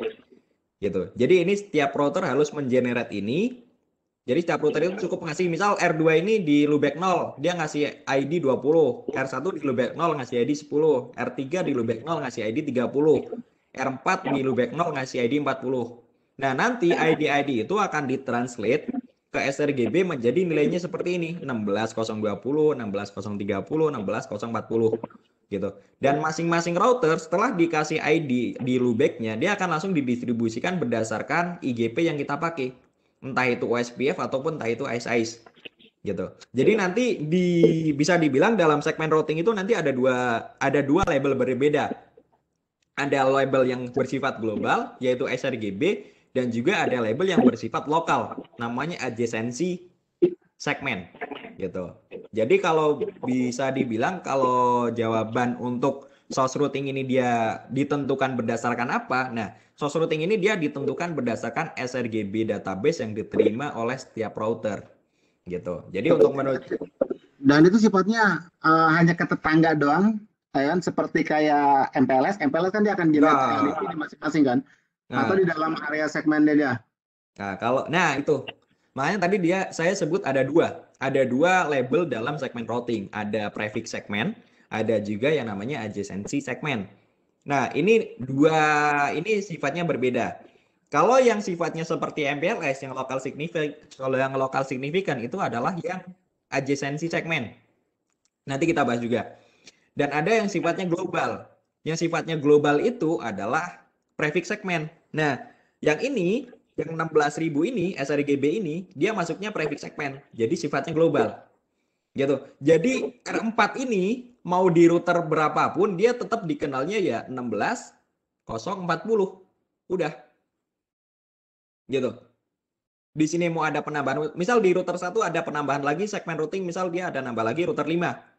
R5 Ya udah R5 ini dia akan mengenali router 4 sebagai 16040 gitu. Jadi identik. Dan dia nggak akan berubah gitu. Berarti R4 itu dikenalnya di segmen routing ya 16040. R1 juga sama R1 di segmen routing dikenalnya 16010 gitu. Berarti sifatnya unik ya, berbeda ya. Ya, sifatnya unik dan dia global. Semua yang running segmen routing dia tahu namanya prefix ID gitu. Oke, okay, dan itu si sRGBT itu si SRID itu dia yang sebagai acuan buat sebagai source routingnya. Yap, betul. Dia akan melihat dari oh, database dari, di situ. Dari database sRGB itu bahwa dia akan menyebarkan bahwa akan mendetek dari source routingnya berdasarkan dari SRID. Yap. Nah, nanti SRID yang akan dipilih itu berdasarkan apa gitu. Nanti ada lagi. Ada banyak policy loh saya Ribet. Oke, menarik, nah, menarik, mendorong, mendorong. Ya. Oke, okay. Nah, kemudian bentar. Nah, kemudian lanjut. Nah, ada namanya segmen. Nah, source routing itu kan sRGB, dia berdasarkan sRGB, kemudian ada yang namanya segmen. Nah, segmen itu sebagai identify untuk semua instruksi. Semua instruksi ini entah forwarding ataupun services. Forwarding itu ya, misal kita mau forward L2 service atau L3 service. Kalau services itu lebih ke aplikasi. Gitu lebih ke aplikasi yang mau dimasukin ke dalam segmen routing gitu. Nah, services ini apa? Nah, karena services ini berupa aplikasi, di sini ini mengarah ke yang namanya SDN controller. Gitu, SDN controller. Entah itu nanti mau push config, entah itu nanti mau collect data, itu semuanya under services. Gitu. Nah, makanya segmen routing itu adalah salah satu protokol salah satu protokol yang di mana dia sudah support untuk ketika di situ kita mau deployment untuk SD-WAN di dalam sebuah jaringan service provider. Gitu. Makanya untuk jaringan-jaringan service provider yang nanti ke depannya mau menggunakan controller bisa menggunakan yang namanya segment routing gitu sebagai data plan-nya gitu untuk forwarding untuk forwardingnya gitu untuk MPLS untuk MPLS libnya nanti harus di take off berarti gitu gitu nah kurang lebih seperti itu nah itu untuk segmen jadi segmen itu digunakan untuk mengidentify for any of instruction. Nah, kurang lebih instruksinya itu seperti ini. Ini kalau kita sebagai forwarding. Instruksi sebagai forwarding ya. Jadi di situ ada beberapa pilihan atau beberapa policy yang bisa kita pasang di route uh, seg so, apa segmen routing ini. Nah, misal segmen itu dia menerima instruksi untuk forwarding paket, misal pergi ke N atau pergi ke router 4, itu dia akan memilih berdasarkan apa? Apakah berdasarkan shortcut atau jalur tercepat ataupun berdasarkan latensi. Nah, kita bisa memilih itu, gitu. Kita bisa memilih berapa opsi. Misal di sini contohnya saya ada dua opsi gitu. Misal menuju R4 ini dia akan menggunakan shortcut, jalur tercepat atau menggunakan yang latensinya kecil.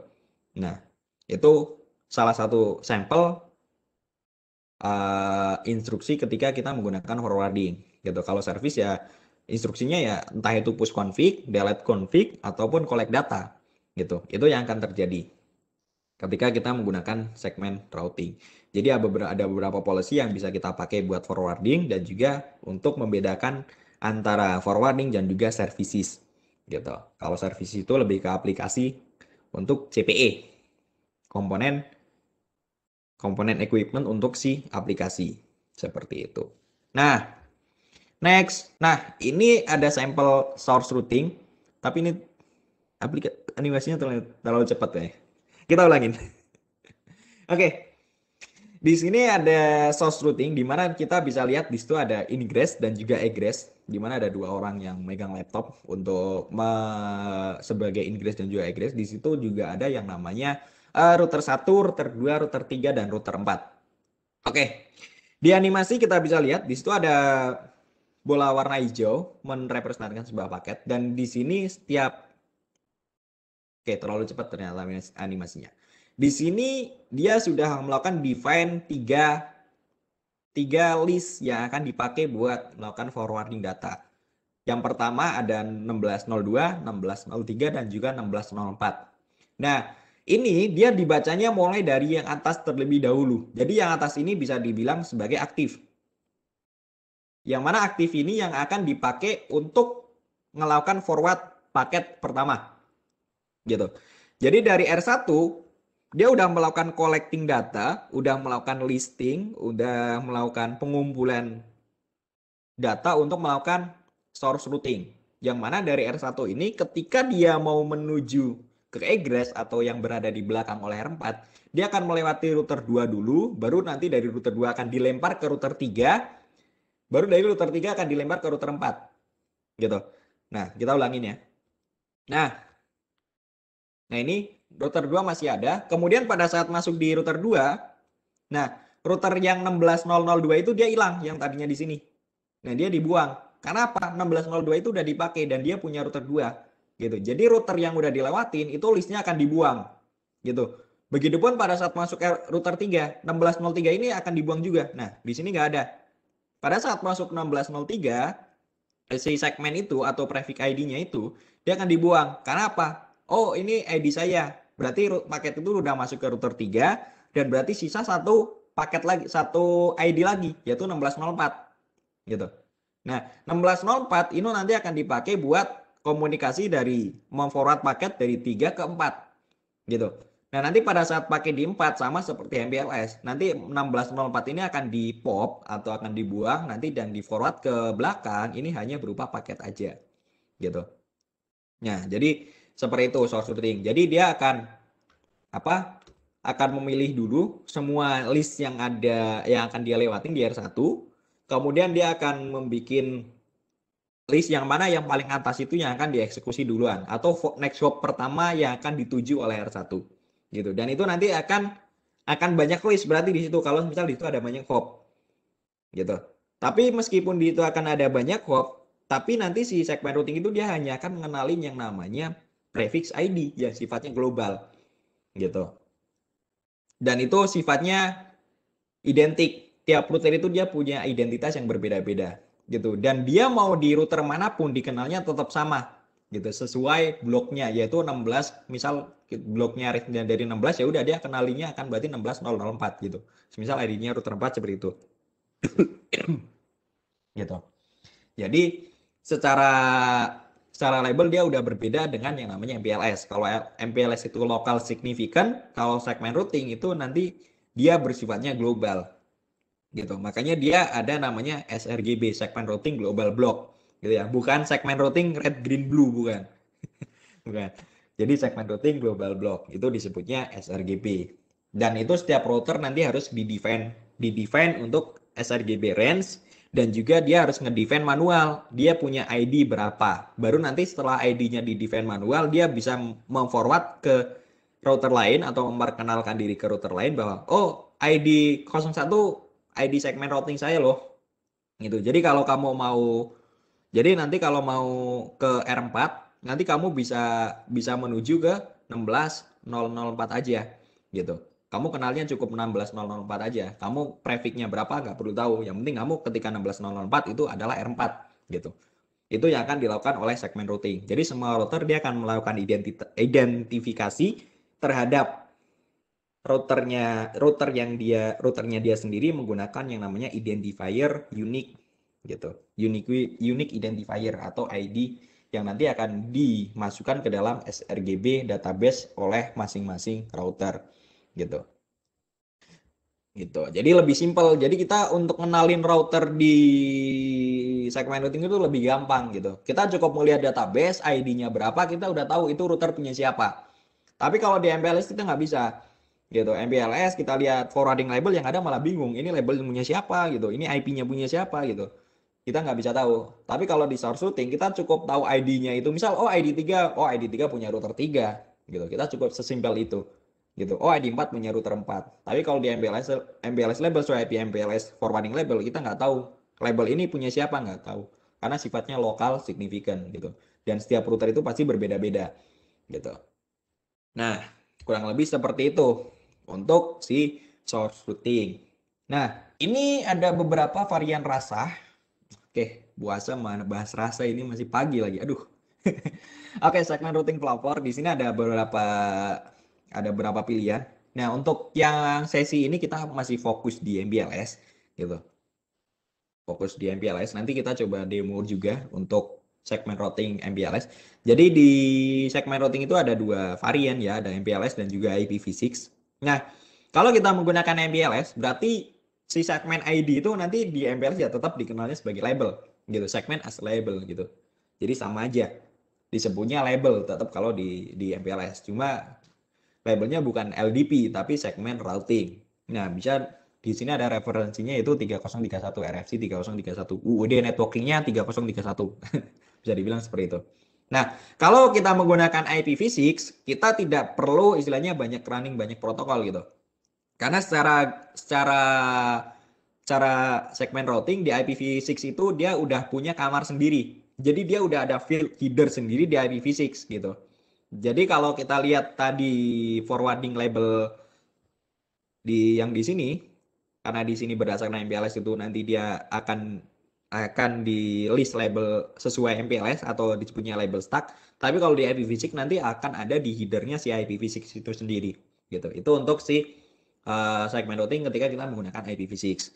Nah, kemudian untuk MPLS dia menggunakan MPLS data plan. Kalau IPv6 dia nggak ada nggak ada data plan. Kemudian dia menggunakan single label atau stack of label yang buat komunikasi ke customer stack of label. Kemudian kalau di IPv6 berarti dia menggunakan IPv6 extension header.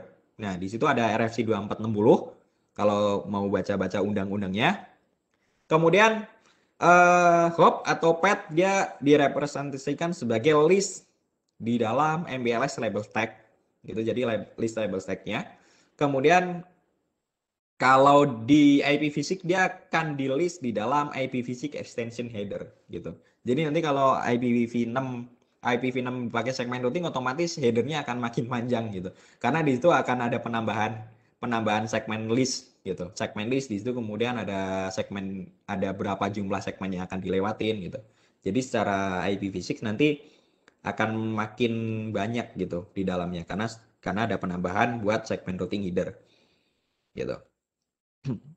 Jadi kalau dari service provider sudah menggunakan IPv6, nah mungkin dia sudah mengarah buat menggunakan segmen routing, gitu. Nanti segmen routing di IPv6 itu bisa jadi uh, bahasa natif gitu, sama seperti pada saat kita menggunakan IPv6 kita harus menggunakan IPsec, gitu, karena dia udah public ya, gitu dan nggak ada NAT. Jadi ketika kita mau komunikasi keluar IPv6 kita menggunakan IPsec. Nah sama di di IPv6 untuk segmen routing ini dia nanti jadi bahasa natifnya si segmen routing. Gitu. Untuk label distribusinya si MPLS itu kita bisa menggunakan ICE, OSPF atau BGP label unicast. Kalau IPv6 kita nggak nggak ada label distribusi. Nah label distribusi ini nggak ada LDP-nya ya, karena kita menggunakan segmen routing. Gitu. Jadi LDP nggak benar-benar nggak dikonfig. Eh, LDP kemudian RSVP itu benar-benar nggak dikonfig. Jadi kita cukup config uh, eh, OSPF BGP atau ASIS baru kita aktifkan segmen routing under routing tersebut gitu.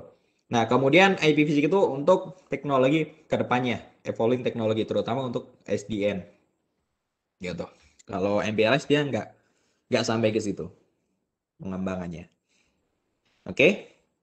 Nah, Ini untuk pengembangan forwarding plan bagian satu, di mana ketika kita menggunakan MBLS, nah list of segment uh, represented as a one or stack label. Jadi dia nanti akan dianggap seperti label pada MBLS pada umumnya, gitu.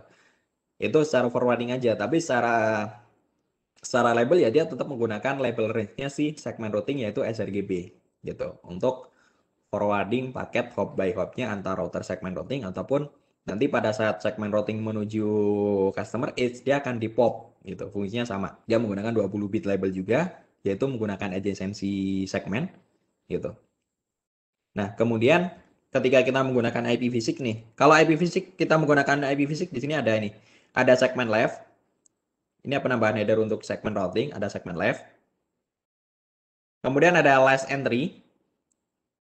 Kemudian di sini ada list of segment. Nah, list of segment ini berarti list router-router yang akan dilewatin oleh si segment routing gitu.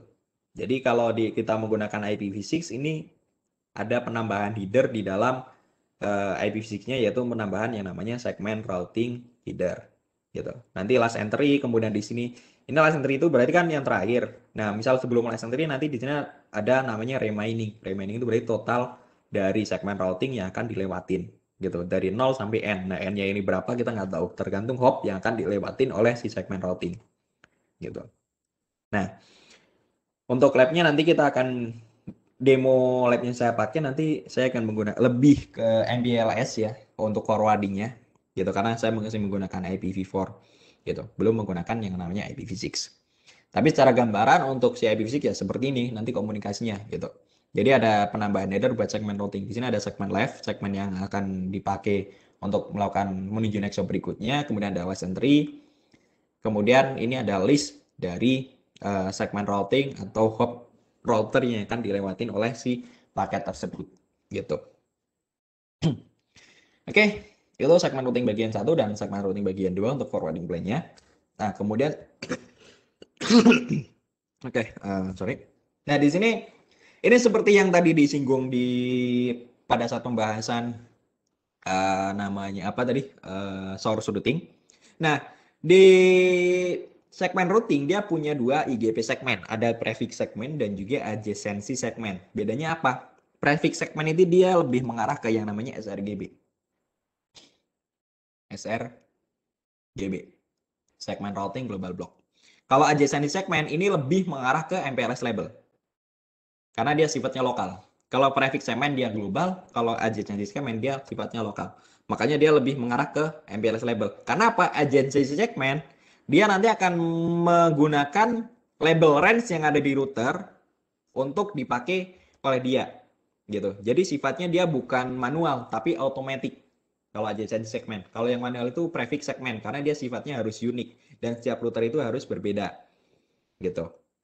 Nah, kita bisa lihat di sini. Nah, IGP segmen bagian satu atau prefix segmen.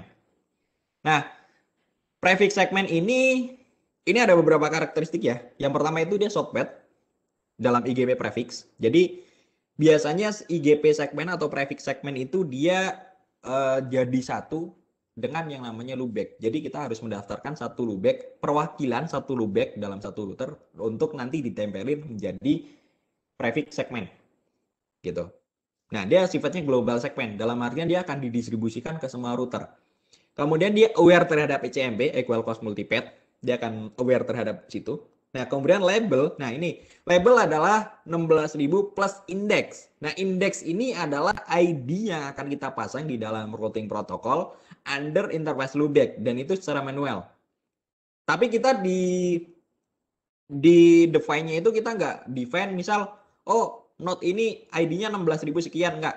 Kita cukup define ID-nya aja. Misal router 1 ID-nya 100. Ya udah kita define ID-nya 100 aja nanti baru yang mengalokasikan label ini siapa nanti si sRGB gitu. Jadi nanti 100 itu oh ID-nya 100 berarti nanti di segmen routing akan dikenalinya menjadi 16.100 gitu. Jadi seperti itu. Kita nggak perlu menuliskan secara full. Misal oh ID-nya 16.100 nggak. Tapi kita cukup menuliskan ID-nya berapa, prefix index-nya berapa. Nanti baru yang menambahkan secara otomatis itu adalah si segmen routingnya gitu. Yang penting kita udah ngedefine manual indeksnya aja gitu. Labelnya nanti biar segmen routing karena nanti segmen routing dia akan melihat range global block yang kita pakai gitu berapa.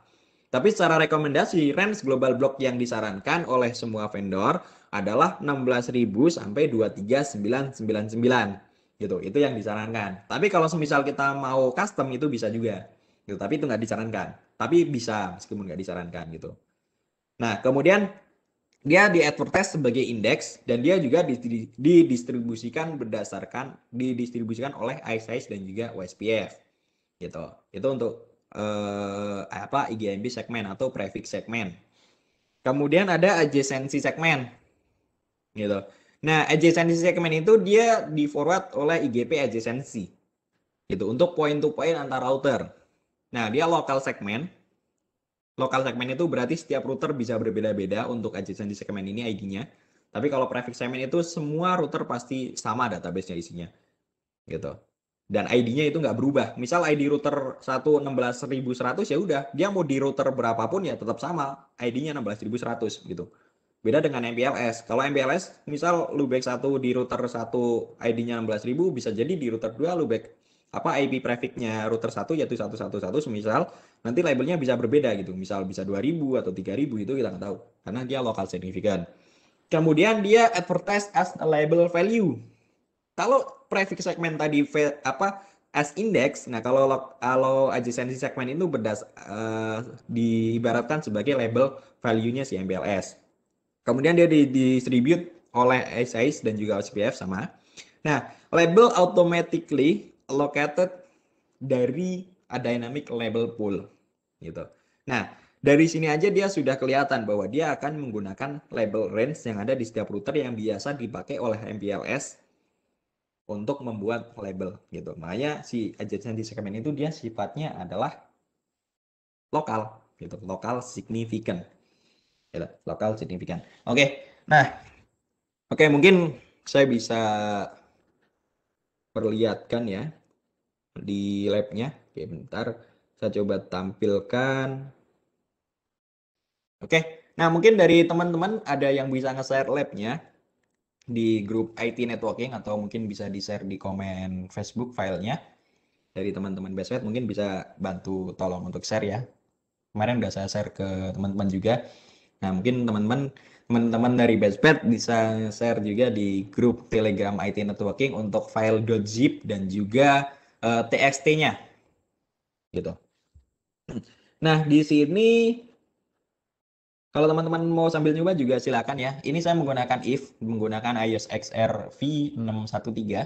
Nah, kalau teman-teman mau nyoba nanti uh, apa .zip-nya biar di-share sama teman-teman BPN di grup IT Networking untuk teman-teman bisa sambil ngelihat juga gitu. Nah, ini adalah basic dari si untuk segmen routing itu sendiri. Bentar.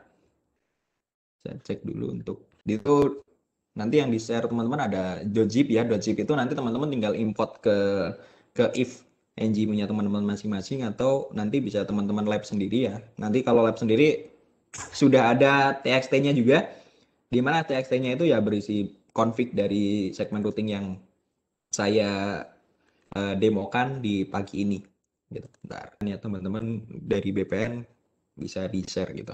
Nah, di sini kita bisa lihat ya, di sini kita ada empat router.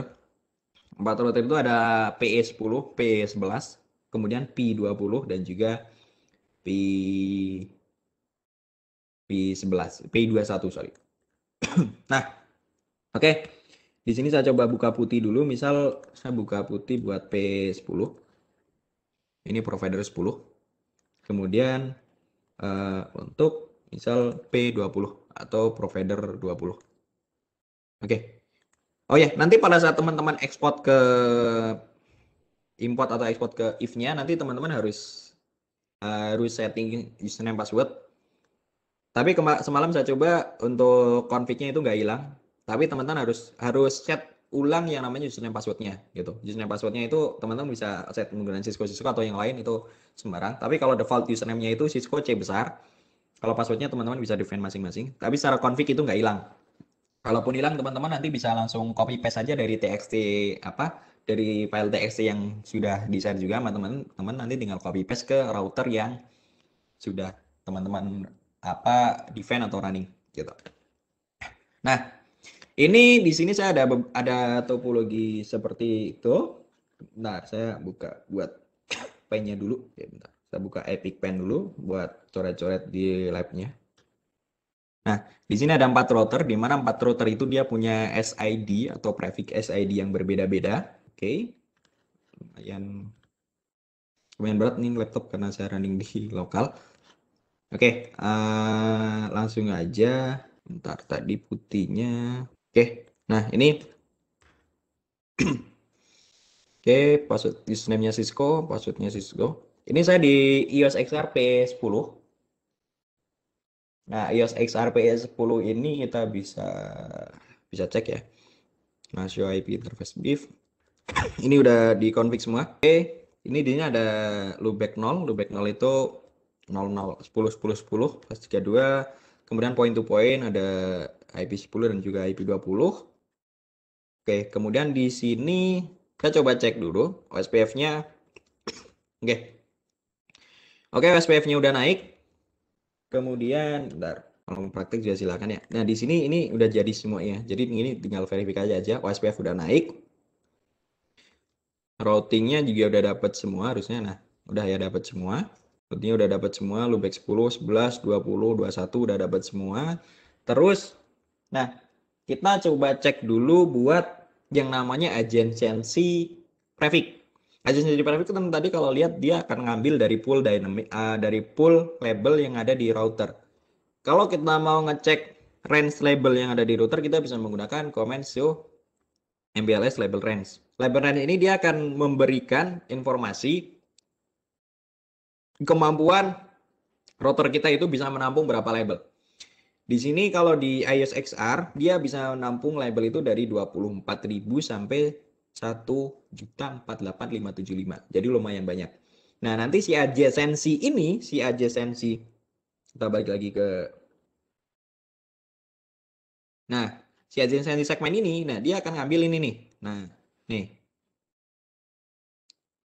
Allocated from dynamic label pool. Dan dia advertise sebagai AS sebagai as label value dan dia bersifat local segment. Jadi kalau dilihat di sini si seg adjacent segmen dia akan ngambil dari alokasi ini. Gitu. Nah, kalau kita memastikan lagi kita bisa menggunakan show MPLS label table. Nah, nih. Ini label detailnya kita menggunakan ini 16.000 ya segmen routing global blocknya. Start labelnya dari 16.000. nah, ini ada adjacency segmen, adjacency segmen, IPv4, adjacency segmen. Nah, dia akan ngambil dari 24.000. Gitu, 24.000, 2041, 24.001, 24.002, 24.003. Gitu. Nah, ini adjacency segmen SR adjacency segmen IPv4. Nah, dia udah kelihatan kan, dia ngambil dari alokasi MPLS reference ini gitu, dari MPLS label. Makanya dia disebutnya advertise as label value. Tapi kalau yang ini ini punyanya prefix segmen routing gitu. Dan dia startnya mulai dari 16.000 sampai 2399 gitu. Ini sRGB sRGB nya gitu. Dan dia uh, advertise as a index gitu. Kalau kita mau ngelihat uh, database sRGB nya kita bisa menggunakan forwarding label uh, forwarding aja Nah, ini. Di sini ada Nah, kalau yang ini kalau yang bawah ini punyanya SR adjacency ya untuk point to point dan dia bersifatnya lokal.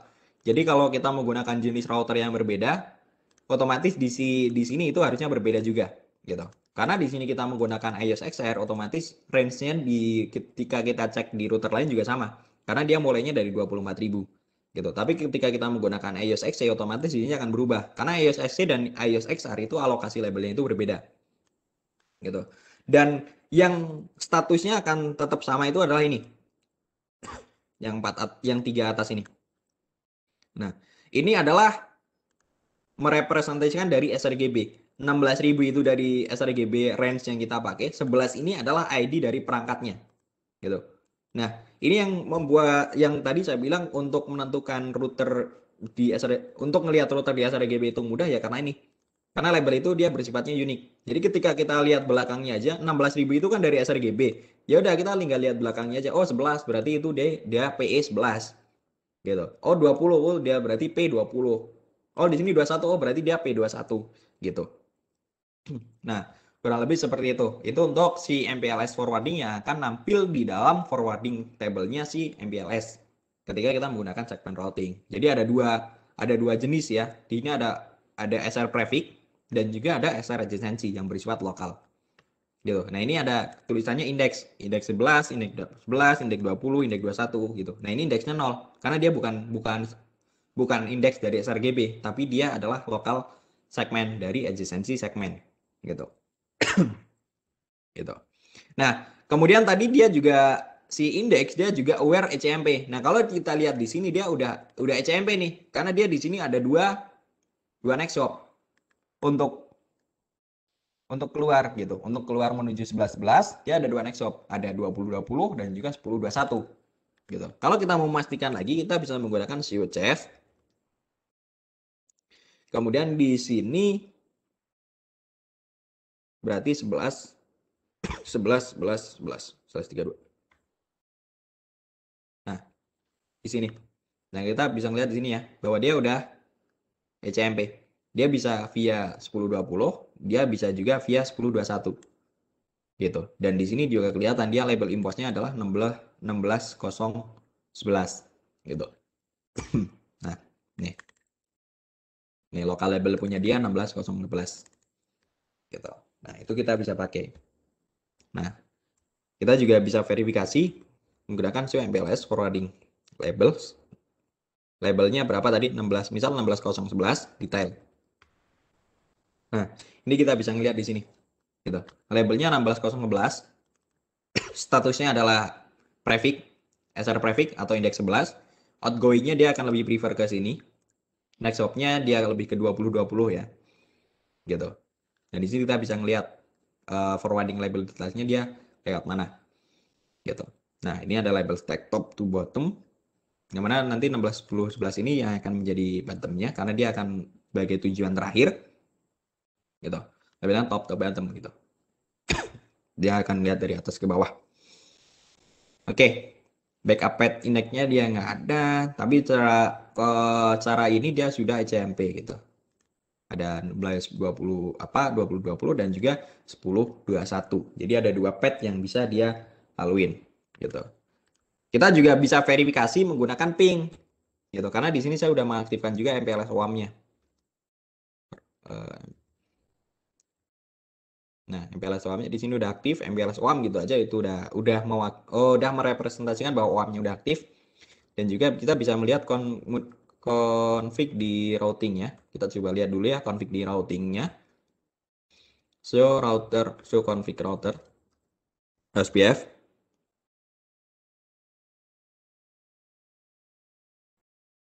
Hmm, sorry salah. Naik router SPF. Nah, di sini kita bisa ngelihat ya, di sini uh, router OSPF. Nah, kalau di XR dia bisa berdasarkan nama ya, router OSPF BN, kemudian router ID-nya. Nah, di sini kita ngidifan nih. Kita mengaktifkan yang namanya segment routing MPLS sebagai forwarding plane-nya dan juga di sini ada segment routing global block. Nah, segment routing global block ini yang disarankan adalah 16.000 sampai 2399. Dan ini harus sama range setiap node-nya gitu. Kalau kita mau custom itu bisa, tapi tidak tidak disarankan gitu. Kalau yang disarankan bisa menggunakan ini 16.000 sampai 2399 gitu. Dan ini harus sama di keempat router yang kita miliki. gitu. Supaya database-nya lebih enak dilihat. Gitu. Jadi di sini ini kan saya ngelihatnya di 16 PE 10 dan ini tadi di P di P20, PE 11, PE21 itu dia harus memiliki range yang sama juga gitu. Tadi kan saya ngecek di P20, P10 sorry. Kemudian kita coba cek di nah di P, P20. Di sini juga sama. Gitu. Show run router SPF. Di sini sama. Nah, kan? Nih. Global bloknya sama 16.000 sampai 2399 gitu. Nah, segmen routing MPLS-nya juga tetap harus ya, karena kita menggunakan MPLS buat forwardingnya. Nah, kemudian MPLS Traffic Engineering itu kita aktifkan kalau kita mau mengaktifkan TE. Jadi kalau kalau di segmen routing kita cukup ini aja, kita nggak perlu running RSVP lagi. Jadi kita cukup mengaktifkan MPLS Traffic Engineering, udah dia TE-nya otomatis aktif gitu. Kita kalau di di LDP biasa, di MPLS biasa, kita harus juga running di interface-nya. Kita di interface itu harus mengaktifkan yang namanya IP RSVP bandwidth gitu. Dan juga kita di interface-nya harus mengaktifkan yang namanya MPLS LDP, MPLS IP kalau kita menggunakan uh, traditional MPLS network. Tapi kalau di sini interface-nya ini bersih. Misal ya, saya di sini show, show run. Interface G00. Nah, ini interface-nya bersih. Di sini cuma isi IP aja gitu nggak ada komen yang lain dan ketika saya seorang MPLS nah di sini MPLS-nya cuma dua MPLS Traffic Eng dan juga MPLS WAM nggak ada MPLS LDP nggak ada RSVP gitu itu lebih jadi secara protokol lebih simpel ketika kita menggunakan segmen routing oke balik lagi ke config OSPF-nya nah di sini nah nih interface loopback 0 nah di sini ada prefix SID. Nah, prefix SID ini yang digunakan oleh segmen routing untuk dimasukin ke dalam sRGB, ke dalam forwarding table-nya gitu. Prefix ID index, indeksnya 10. Nah, indeks 10 ini berarti nanti pada saat dia masuk ke forwarding label ke database-nya, nanti dia akan ditambah ini. Jadi nanti ngitungnya dari range yang 16.000 ini. Jadi nanti dia dimasukin ke database-nya adalah bukan 10, bukan 10 aja gitu. Tapi akan ditambahkan ini. Jadi nanti pada saat masuk ke database dia isinya adalah berarti 16 0 10 16.010 gitu. Jadi prefix prefix SID kita nggak perlu menuliskan lengkap 16.010 itu nggak perlu. Kita cukup indeksnya itu dia ID-nya berapa. Entah itu 10, entah itu 100, entah itu 1000. Nah, nanti akan dimasukkan ke sini. Berarti nanti di sini kelihatannya 16.010 gitu. 16.000 20, 16.000, 30, 16.000, 40 seperti itu. Jadi kita cukup define indeksnya itu value-nya berapa, nanti secara otomatis dia akan dimasukkan ke dalam sRGB menggunakan range yang terkecil yaitu mulai dari range 16.000 gitu, 16.000 sekian. 16.010, 16.020, 16.030 dan seterusnya gitu sampai 2399 seperti itu. Nah, kemudian ini kita digunakan untuk mengaktifkan MPLS Traffic Eng Router ID loopback 0 gitu. Jadi secara config itu kita udah memangkas banyak protokol. Salah satunya adalah LDP dan juga RSVP ketika kita menggunakan MPLS tradisional gitu. Jadi kalau kita troubleshoot cek main routing, kita juga nggak perlu jauh-jauh gitu, nggak perlu jauh-jauh cek LDP-nya, cek RSVP-nya gitu. Kita cukup cek di router OSPF-nya, di sini udah ada belum config-config untuk segmen routing gitu. Dan di interface kita juga nggak perlu define yang namanya MPLS IP. Apa itu MPLS IP gitu? Eh, segmen routing nggak kenal seperti itu gitu. Jadi cukup di define di sini segmen routing MPLS dia sudah aktif gitu si segmen routingnya. Jadi segmen routing global block jangan lupa, kemudian segmen routing MPLS dan juga kita tidak lupa di sini nih Ya, seperti tadi yang saya bilang, kalau prefix SID itu dia nempel di interface loopback. Gitu. Nah, nanti kita di situ tinggal ngasih namanya prefix SID index dia value-nya berapa. Gitu. Oke. Nah, lanjut. Semisal kita di sini mau verifikasi ping. Nah, kalau kita mau verifikasi ping kan biasanya kita ping MPLS, kemudian IP-nya berapa kan? Ping MPLS, kemudian IP-nya berapa tujuannya gitu. Tapi kalau di di segmen routing ini rada panjang komennya, di mana kita menggunakan nil fact, nil FEC, kemudian kita masukin labelnya. Misal kita mau komunikasi ke label berapa? Misal ke label 16 011 ke PE11. Kemudian di sini kita harus define juga out, uh, outputnya. Outputnya dia via, via interface mana? Misal via interface G00. Kemudian kita harus define juga next hop-nya. Jadi rada ribet untuk melakukan tes ping atau trace route gitu. Misal next hop-nya berarti 192 atau 68 20 eh 20. Nah, ini. Berarti kalau seperti ini labelnya, label segmen routingnya itu dia udah berhasil gitu karena di sini hasilnya sukses. gitu. Semisal kita mau traceroute juga bisa, traceroute MPLS nailfake, kemudian di sini uh, labelsnya 16011, kemudian outgoing, outputnya interface-nya gig 00 lagi, kita coba. Dan next hop-nya di sini 192.8 20 20. Nah, nah kan di sini benar kan? Labelnya 16011, kemudian di sini dia ngelewatin punyanya R20, P20. Nah, seperti ini. Gitu. Jadi lebih kurangnya seperti itu ketika kita melakukan uh, verifikasi untuk si segmen routing itu sendiri. Gitu. Dan untuk secara config juga lebih simpel. Di sini interface juga bersih. Nah, interface cuma config IP. Kalau kita run MPLS juga MPLS-nya cuma aktif MPLS Traffic Engineering dan juga MPLS COAM. Kita nggak perlu RSVP. Jadi kalau di sini saya running config-nya LDP nggak ada, MPLS LDP nggak ada, MPLS RSVP, kalau RSVP juga nggak ada, gitu. Berbeda ketika kita menggunakan traditional network. Kalau traditional network kita mau aktifin label ya udah kita aktifin LDP, gitu. Kalau kita mau ETE ya udah kita aktifin RSVP TI, gitu. Tapi kalau segmen routing kita nggak perlu itu, gitu. Kita cukup semuanya config-nya ada di IGP kita. Kalau kita menggunakan IGP, kalau menggunakan BGP ya udah berarti config-nya cukup di BGP-nya aja gitu. Misal seperti ini. router OSPF. Nah, jadi semuanya config segmen routingnya itu di pull di dalam uh, sebuah routing OSPF yang ada di sini. gitu. Nah, lebih kurang seperti itu untuk uh, demo dari si segmen routing itu sendiri. Gitu. Nah, ini topologi simpelnya ada empat router jadi ini belum ada running service ya. Jadi misal nggak ada MPBGP nggak ada. Jadi di sini hanya memberikan gambaran config dari segmen routing itu sendiri gitu. Kalau selebihnya kalau misal mau nambah services ya sama berarti teman-teman harus mengaktifkan MPBGP antara PE10 dan juga PE11, kemudian VRF untuk ke customer, kemudian eh, apa VPN V4-nya juga jangan lupa diaktifin juga gitu supaya nanti untuk exchange routing table-nya itu bisa di uh, simulate gitu. Oke. Okay? Jadi lebih kurang seperti itu untuk si segmen routing. Nah, ini untuk prefix segmen dan juga adjacency segmen ya tadi gitu.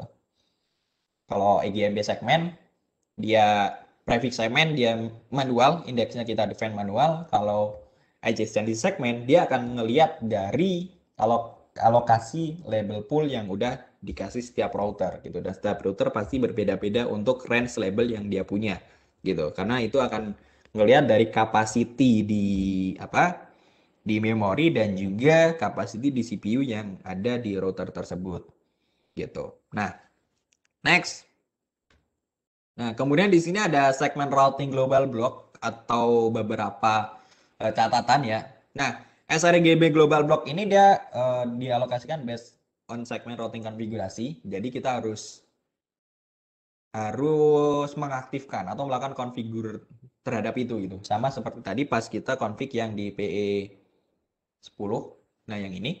Jadi kita harus defend. Kalau kita nggak defend dia nggak bisa gitu. Makanya di sini disebutkan sRGB itu alokasi based on segment routing konfigurasi gitu default ranknya itu adalah 16.000 sampai 2399 dan ini yang direkomendasikan kita pakai gitu. Semua vendor menyarankan untuk memakai ini gitu. Bisa dibilang seperti itu. Kemudian uh, range ini dia dipakai hanya oleh segmen routing gitu. Jadi protokol lain nggak bisa pakai ini gitu. Nah, kemudian semua node dia menggunakan segmen routing global box yang sama gitu.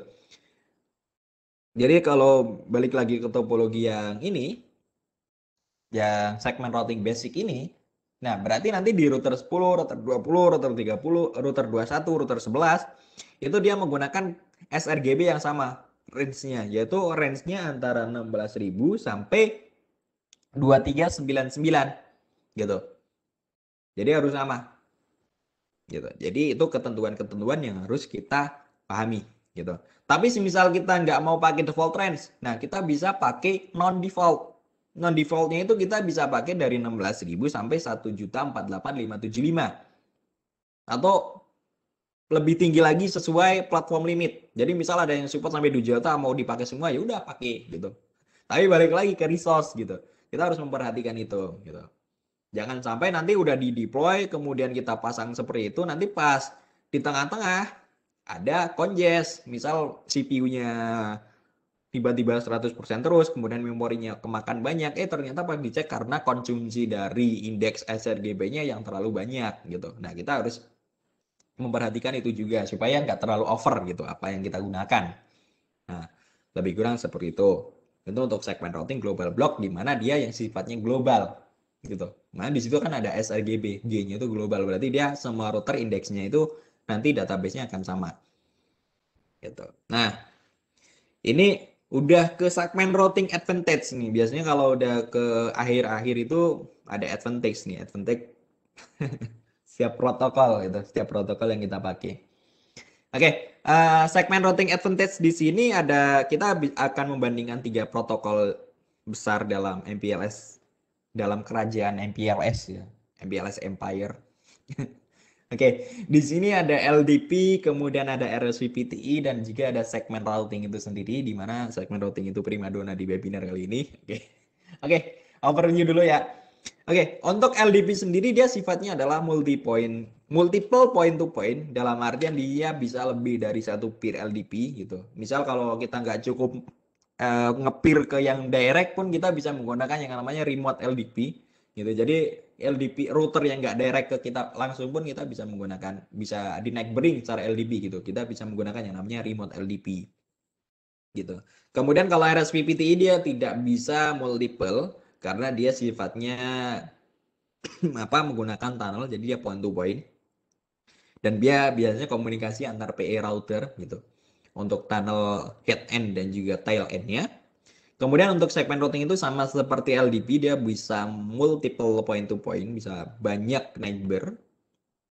Kemudian ya karena salatnya dia support buat ECMP gitu. Otomatis kalau RSVTA dia nggak support ECMP gitu. Nah seperti ini nih, dia nggak support buat yang namanya uh, eh, ECMP karena dia cuma point to point. Point to point mau ECMP dari mana kan gitu. Gitu. Nah, ini point to point. Oke, kemudian secara operation itu simple. Sebenarnya MPLS itu simple ketika kita hanya menggunakan LDP gitu. Tapi karena ada RSVP yang menyerang itu jadi lebih susah gitu. Terutama buat alokasi di bandwidth gitu. Untuk pengaturan petnya kita mau lulus atau mau strict gitu. Misal nanti untuk proteksinya, proteksinya kita mau link protection atau not protection, nanti mekanismenya gimana? Aduh ribet itu. Nah, makanya sebenarnya MPLS itu simple ketika kita hanya menggunakan LDP gitu. Tapi jadi lebih susah, lebih kompleks ketika kita memasukkan yang namanya RSVPTI gitu. Jadi se seperti negara api menyerang gitu. jadi lebih kompleks gitu. Tapi secara hasil itu bisa lebih maksimal gitu, terutama buat yang namanya failovernya dan juga buat fast reroute-nya gitu. Kalau segmen routing itu lebih simple lagi gitu. Tadi kita bisa lihat ya dari sisi config itu dia protokol yang dipakai kita cukup maintenance si IGP yang kita pakai ataupun BGP yang kita pakai. Gitu. Selebihnya nggak ada protokol lain yang kita pakai. Kalau LDP kita bisa me, harus dua protokol, yaitu IGP dan juga LDP itu sendiri. Tapi kalau segmen routing kita nggak perlu. Kita cukup memantau dari IGP yang kita pakai. Gitu. Untuk melakukan distribusi protokol, LDB ya menggunakan LDB, Label Distribution Protocol. Kalau RSVPTI dia juga sama, menggunakan distribusi protokol juga, LDB juga. Kemudian segmen routing dia tidak ada protokol khusus buat mendeliver LDP, mendeliver sebuah label atau indeks. Dia hanya memanfaatkan IGP yang dia pakai. Jadi nggak ada protokol khusus. Kalau LDP, protokol khususnya ya LDP. Gitu. Label Distribution Protocol, bukan dia nggak bisa disebarkan hanya menggunakan yang namanya IGP. Begitupun RSVPTI. Itu. nah, kemudian uh, dependensi. Ketergantungan dengan IGP otomatis iya, hampir semua. Gitu. Hampir semua. LDP, RCPT, sampai routing itu semuanya hampir ketergantungan dengan yang namanya IGP. Jadi IGP itu bisa dibilang ya bahasa ibu gitu, wajib gitu. Kita mau deploy protokol MPLS apa pun ya kita wajib tahu apa itu IGP-nya gitu. Entah itu pakai WSPF ataupun menggunakan ACS-nya gitu. Jadi kita harus tahu karakteristik dari setiap routing protokol itu gimana sih gitu. Karena itu jadi dependensi setiap uh, protokol baik itu LDP, RCPTE dan juga segment routing. Oke, nah kemudian untuk label allocation, untuk label allocation itu untuk LDB itu local significant, dia berdasarkan range label yang dialokasikan setiap router gitu, entah itu router IOSXC, iOS ataupun iOS XR itu pasti punya range label yang berbeda-beda. Kemudian untuk RSVT juga sama, locally significant. Kalau segment routing dia ada dua. Ada dua itu tadi untuk prefix segment dan juga adjacency segment. Prefix segment itu bersifat global, adjacent segment bersifat lokal. Gitu. Jadi ada dua label alokasi alokasinya itu. Ada segmen ID atau prefix ID yang disebut sebagai index, ada yang namanya uh, lokal adjacency atau adjacency segment yang disebut sebagai label gitu. Jadi ada dua ya, ada global dan juga ada lokal. Kalau label alokasi, kalau label allocation di dalam segmen routing. Kemudian untuk MPLS ECMP, LDP itu iya. MPLS LDP support buat ECMP karena dia based on IGP best pet gitu berdasarkan yang ada di IGP. Kalau RSVPTI dia tidak bisa buat ECMP karena dia point to point gitu. Point to point hanya satu link dia mau ECMP ke mana itu nggak bisa. Kalau segmen routing dia udah pasti bisa. Kita tadi udah buktikan menggunakan chef, show forwarding table dia ECMP gitu. Jadi secara cara pembuktian udah benar dan berarti cara teori juga benar juga udah pasti gitu. Jadi MPLS CMP itu segment routing support. Kemudian untuk traffic engineering, nah ini traffic engineering ini kenapa di sini dibilang simpel MPLS itu simpel ya karena dia cuma LDP doang. Tapi karena pas masuk segmen routing di sini nggak bisa gitu. Traffic engineering nggak bisa LDP, makanya LDP kolaborasi sama RSBT ini buat melakukan yang namanya segment routing. Eh, segment routing. Melakukan buat NPRS Traffic Engineering. Jadi protokolnya berbeda-beda. Kalau mau MPLS bisa, biasa kita menggunakan LDP aja. Kalau kita mau menggunakan segmen apa menggunakan traffic engineering, berarti kita di situ harus running LDP dan juga RSVPTI. Gitu. Nah, hanya di sini traffic engineering itu LDP dia nggak support gitu. Makanya dia harus berkolaborasi dengan yang namanya RSVPTI gitu untuk melakukan traffic engineering. Tapi kalau segmen routing dia bisa berdiri sendiri gitu. Seperti yang tadi kita lihat di router. Di router 10 di sini kita nggak ada protokol apa-apa, nggak ada RSVP, nggak ada LDP, jadi semuanya pure yang ada di yang ada di sini aja gitu. Jadi ambil traffic engineering ya udah dia traffic engineering under OSPF aja dan dia nanti uh, untuk peruntukannya ya menggunakan segmen routing gitu. Tapi kalau kita menggunakan LDP berarti kita harus config di sini. Jadi harusnya kalau saya soran soran RSVP di sini harusnya ada kalau kita menggunakan RSVP gitu. Kalau kita menggunakan LDP ya berarti kita ketika suran ini harusnya ada. Tapi di sini kita nggak config karena kita nggak butuh itu gitu. Karena segmen routing nggak butuh itu gitu. Segment routing udah memangkas dua protokol itu LLDP dan juga RSVP sehingga dia secara protokol itu lebih simpel. Oke. Okay. Untuk fast reroute LDP support LFA, load apa untuk free avoidance. Kemudian untuk RSVPTI dia uh, fast reroute-nya bisa support dua mode, dua metode. Untuk node protection dan juga link protection. Node protection buat ketika routernya mati, buat link protection buat ketika jalurnya mati. Jadi kita bisa milih dua. Milih dua metode itu. Atau kita mau menggabungkan dua-duanya. Gak apa-apa. Gitu. Tapi ya tadi lebih kompleks gitu. Jadi ketika kita landing LTB apa MPLS tradisional ya kita pushing di situ gitu. Untuk terutama untuk RSVPTI-nya gitu. Tapi kalau kita mau based on IGP ya udah nggak perlu mikirin gimana gimana dia atau link protection gitu karena semuanya based on IGP. Nah, tapi kalau kita pakai RSVPTI ya kita harus kalkulasikan gitu supaya nanti pas ada satu link mati dia nggak looping juga. Kemudian nah kalau untuk segmen routing dia menggunakan dia bisa juga untuk fast reroute dia sama menggunakan LFA TI LFA uh, loop free avoidance ya. Kemudian untuk IPv6 LDP sama RSCP di sini masih ada isu ya di mana dia ada limited extension yang dibutuhkan ya. Kemudian kalau segmen routing dia natif kenapa natif karena dia punya kamar khusus di IPv6 header yang mana dia punya alokasi header di dalam IPv6 gitu. Buat melakukan forwarding data buat melakukan forwarding si index atau forwarding paket segmen routing di dalam uh, jaringan IPv6 gitu. Jadi lebih kurang seperti itu. Makanya di situ disebutnya natif gitu. Natif itu berarti uh, dia emang udah dianggap sebagai warga IPv6 gitu segmen routing itu jadi sama seperti IPv6, IPsec di IPv6 gitu. Kita IPsec itu jadi semacam bahasa, jadi semacam hal wajib ketika kita menggunakan IPv6 gitu.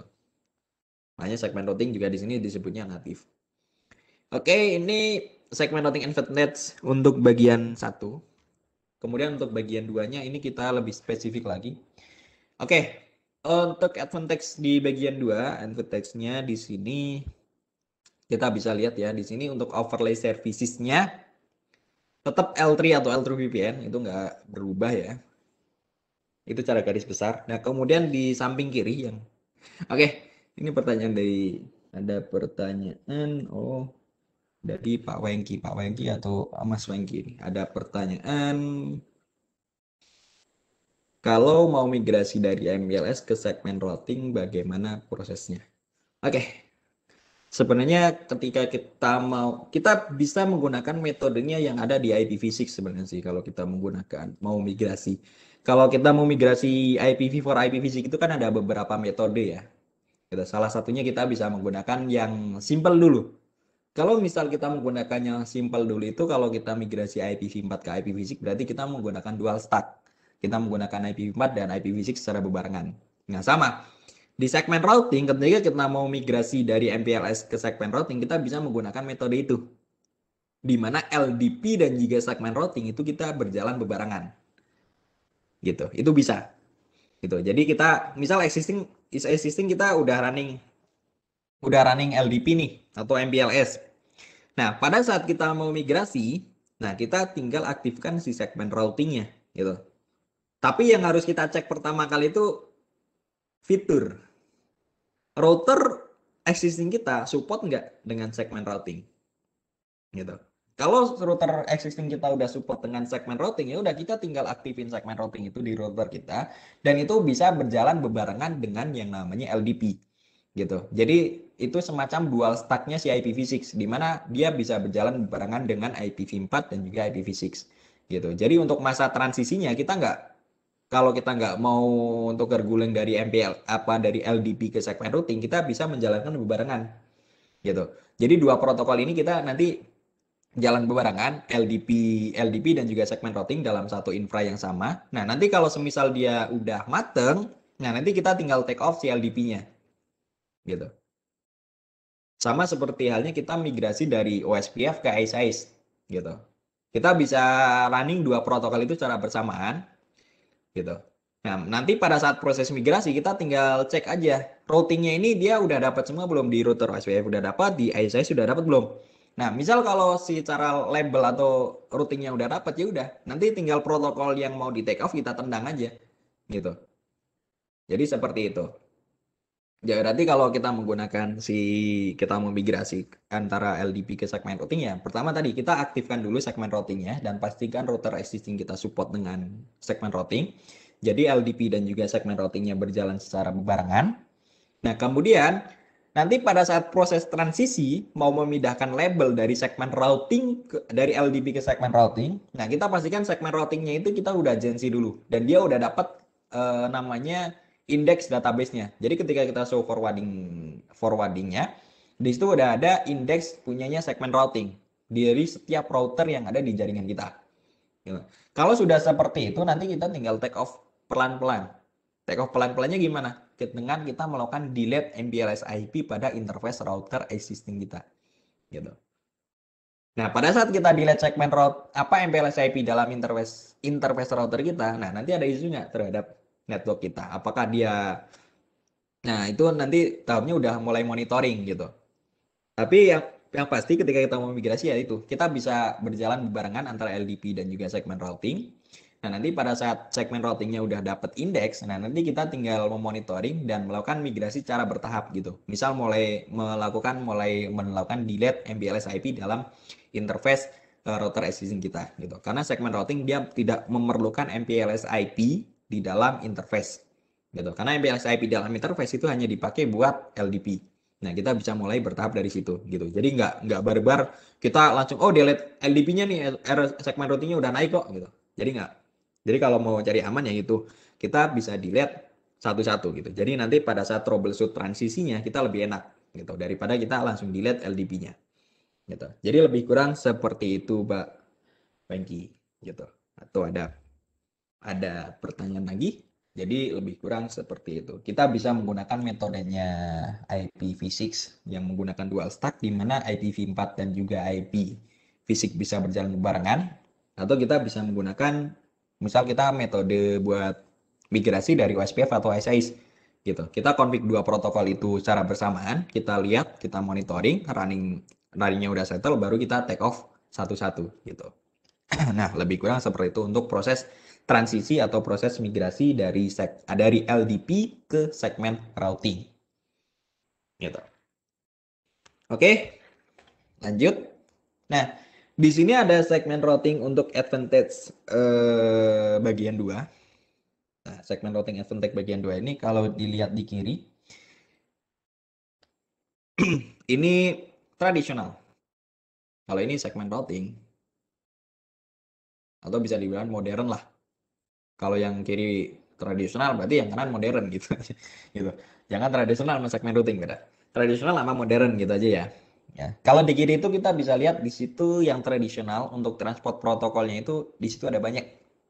Ada IGP, ada LDP buat distribusi label, ada RSVPTI buat buat traffic engineering, ada BGPLU buat distribusi label menggunakan BGP. Gitu. Label unicast ya. Nah, di situ ada empat protokol yang running ketika kita menggunakan tradisional. Gitu. Belum ada VRF. Kalau VRF itu ada itu otomatis sama sih. VRF, MBBGP itu di segmen routing juga pakai. Tapi secara transport protokol uh, dia menggunakan lebih banyak protokol dibandingkan oleh segmen routing. Kalau kita lihat yang di kanan, yang di kanan itu transport protokol itu lebih simpel gitu.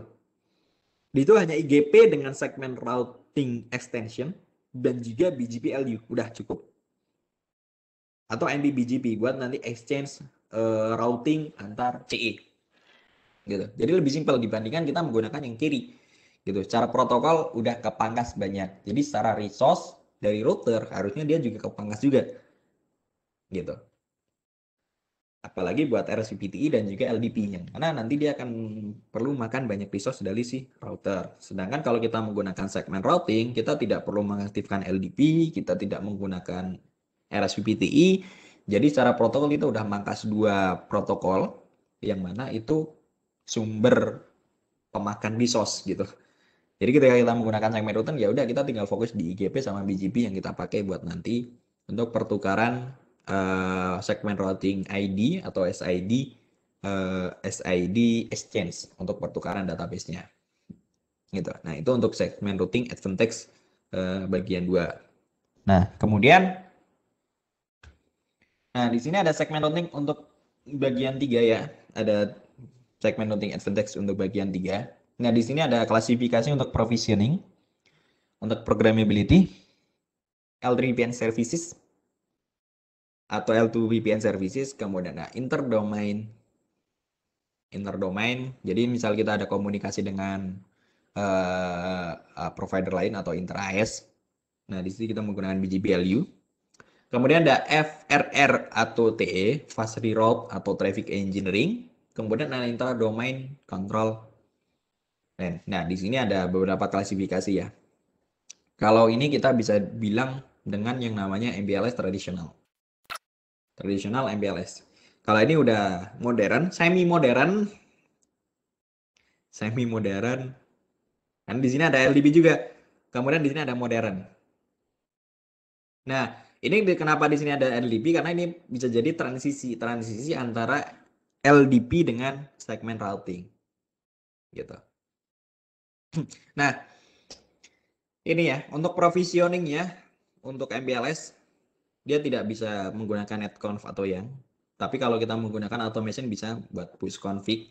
Tapi untuk secara full dia belum bisa untuk netconf dan yang. Kemudian programmability-nya juga dia belum support. Dan dia masih based on protokol tradisional ya MPLS-nya. Kita harus config banyak protokol. Config LDP, config BGP, config RSVP, config IGP, dan yang lainnya yang dibutuhkan di dalam MPLS tradisional network. Tapi kalau di yang semi semi modern ini kita bisa menggunakan netconf atau yang itu bahasa pemrograman yangnya gitu. Jadi untuk menggunakan SR ini karena dia sudah mengarah ke SDN, makanya dia provisioningnya bisa menggunakan netconf yang buat semi modern. Dan untuk yang terakhir yaitu buat yang segmen routing and fintech yang bagian nah bagian ke apa? ketiganya atau yang modern. Nah, dia bisa menggunakan netconf dan juga yang untuk provisioningnya. Dan juga untuk programmability-nya itu dia support dengan yang PCI, Pet Computation Element. Pet Computation Element itu dia lebih mengarah ke semacam untuk application, application, services buat application gitu. Entah itu buat push config, untuk grab monitoring, untuk collect data, atau mau ngambil data yang lainnya yang dibutuhkan oleh monitoring yang nanti bisa mengambil kesimpulan tentang performance yang ada di network kita. Nah, kita bisa menggunakan fitur yang namanya PCE, programmability-nya, itu Pet Computation Element. Di mana di situ ada komponen, kemudian aplikasi, kemudian network mode dan yang lainnya. Gitu. Makanya tadi kalau kita lihat di awal untuk segmen itu sendiri dia forwarding atau services. Gitu kan. Forwarding itu berarti untuk melakukan forwarding L2 atau L3 VPN services. Kalau services itu lebih ke PCE. Gitu. Pet Computation Element. Di mana nanti di dalamnya ini ada banyak banyak komponen ya. Ada aplikasi. Kemudian ada network mode. Network mode. Kemudian ada juga misal uh, komponen. Komponen komponen. Nah, nanti dia bisa di, dimanfaatkan buat melakukan grab, monitoring, kemudian melakukan push config, kemudian melakukan analisa, yang nanti akan bisa dipakai buat melakukan laporan, misal laporan performance terhadap jaringan network yang kita punya, gitu. Nah, itu lebih kurangnya untuk segmen routing advantage, gitu. Nah, oke. Okay. Terakhir terima kasih. Oke, okay. mungkin itu uh, yang yang bisa kita uh, bahas untuk pagi ini. Mungkin ada pertanyaan sebelum dilempar lagi, dilempar ke moderator. Dari teman-teman ada yang mau diskusi dulu, karena kita di sini belajar bersama ya. Gitu. Gimana? Ada yang mau ditanyakan? atau ada yang mau kita diskusikan mungkin sebelum kita akhiri? Monggo silakan kita bisa diskusi. Jika ada pertanyaan. Yap. yap.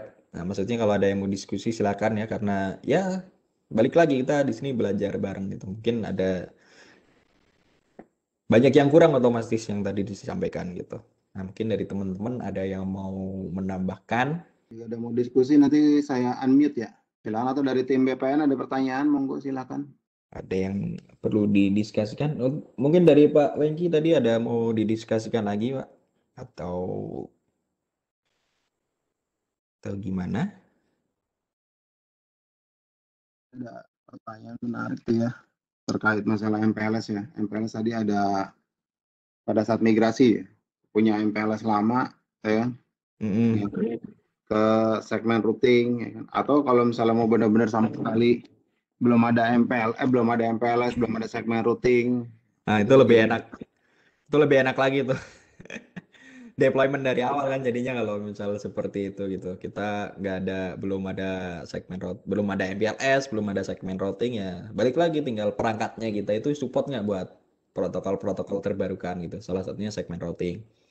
Kalau emang udah support ya hajar aja gitu segmen routing itu. Karena prospek ke depannya kan akan mengarah ke situ semua gitu.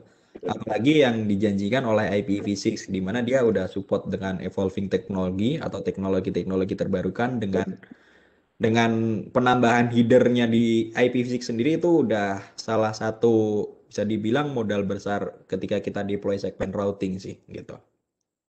Jadi dengan kita running IPv6 itu sendiri kita nggak perlu running protokol lain gitu, like uh, eh, LDP, kemudian RSVPT itu kita udah ignore aja dengan protokol-protokol lama seperti itu ketika udah udah running dengan segmen routing gitu.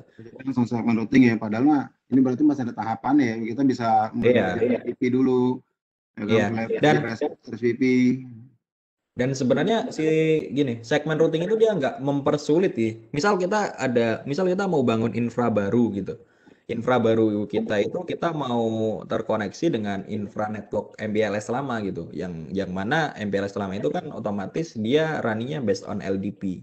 Nah, sebenarnya itu bisa bisa digabungkan juga gitu. Jadi nanti ada ada metode untuk menggabungkannya gitu. Sama sama seperti kita misal uh, eh, MPLS kita punya dua domain yang berbeda. Nah, untuk menggabungkan dua MPLS tradisional domain berbeda itu kita di situ bisa menggunakan yang namanya intra-S. Option A, option B, atau option C. Nah, caranya hampir sama seperti itu ketika kita mau menggabungkan antara LDP dengan segmen routing itu. Jadi misal jaringan baru kita menggunakan segmen routing, jaringan lama kita masih menggunakan yang namanya LDP. Dan itu bisa disatukan gitu. Karena kan sama-sama itu masih menggunakan label juga gitu.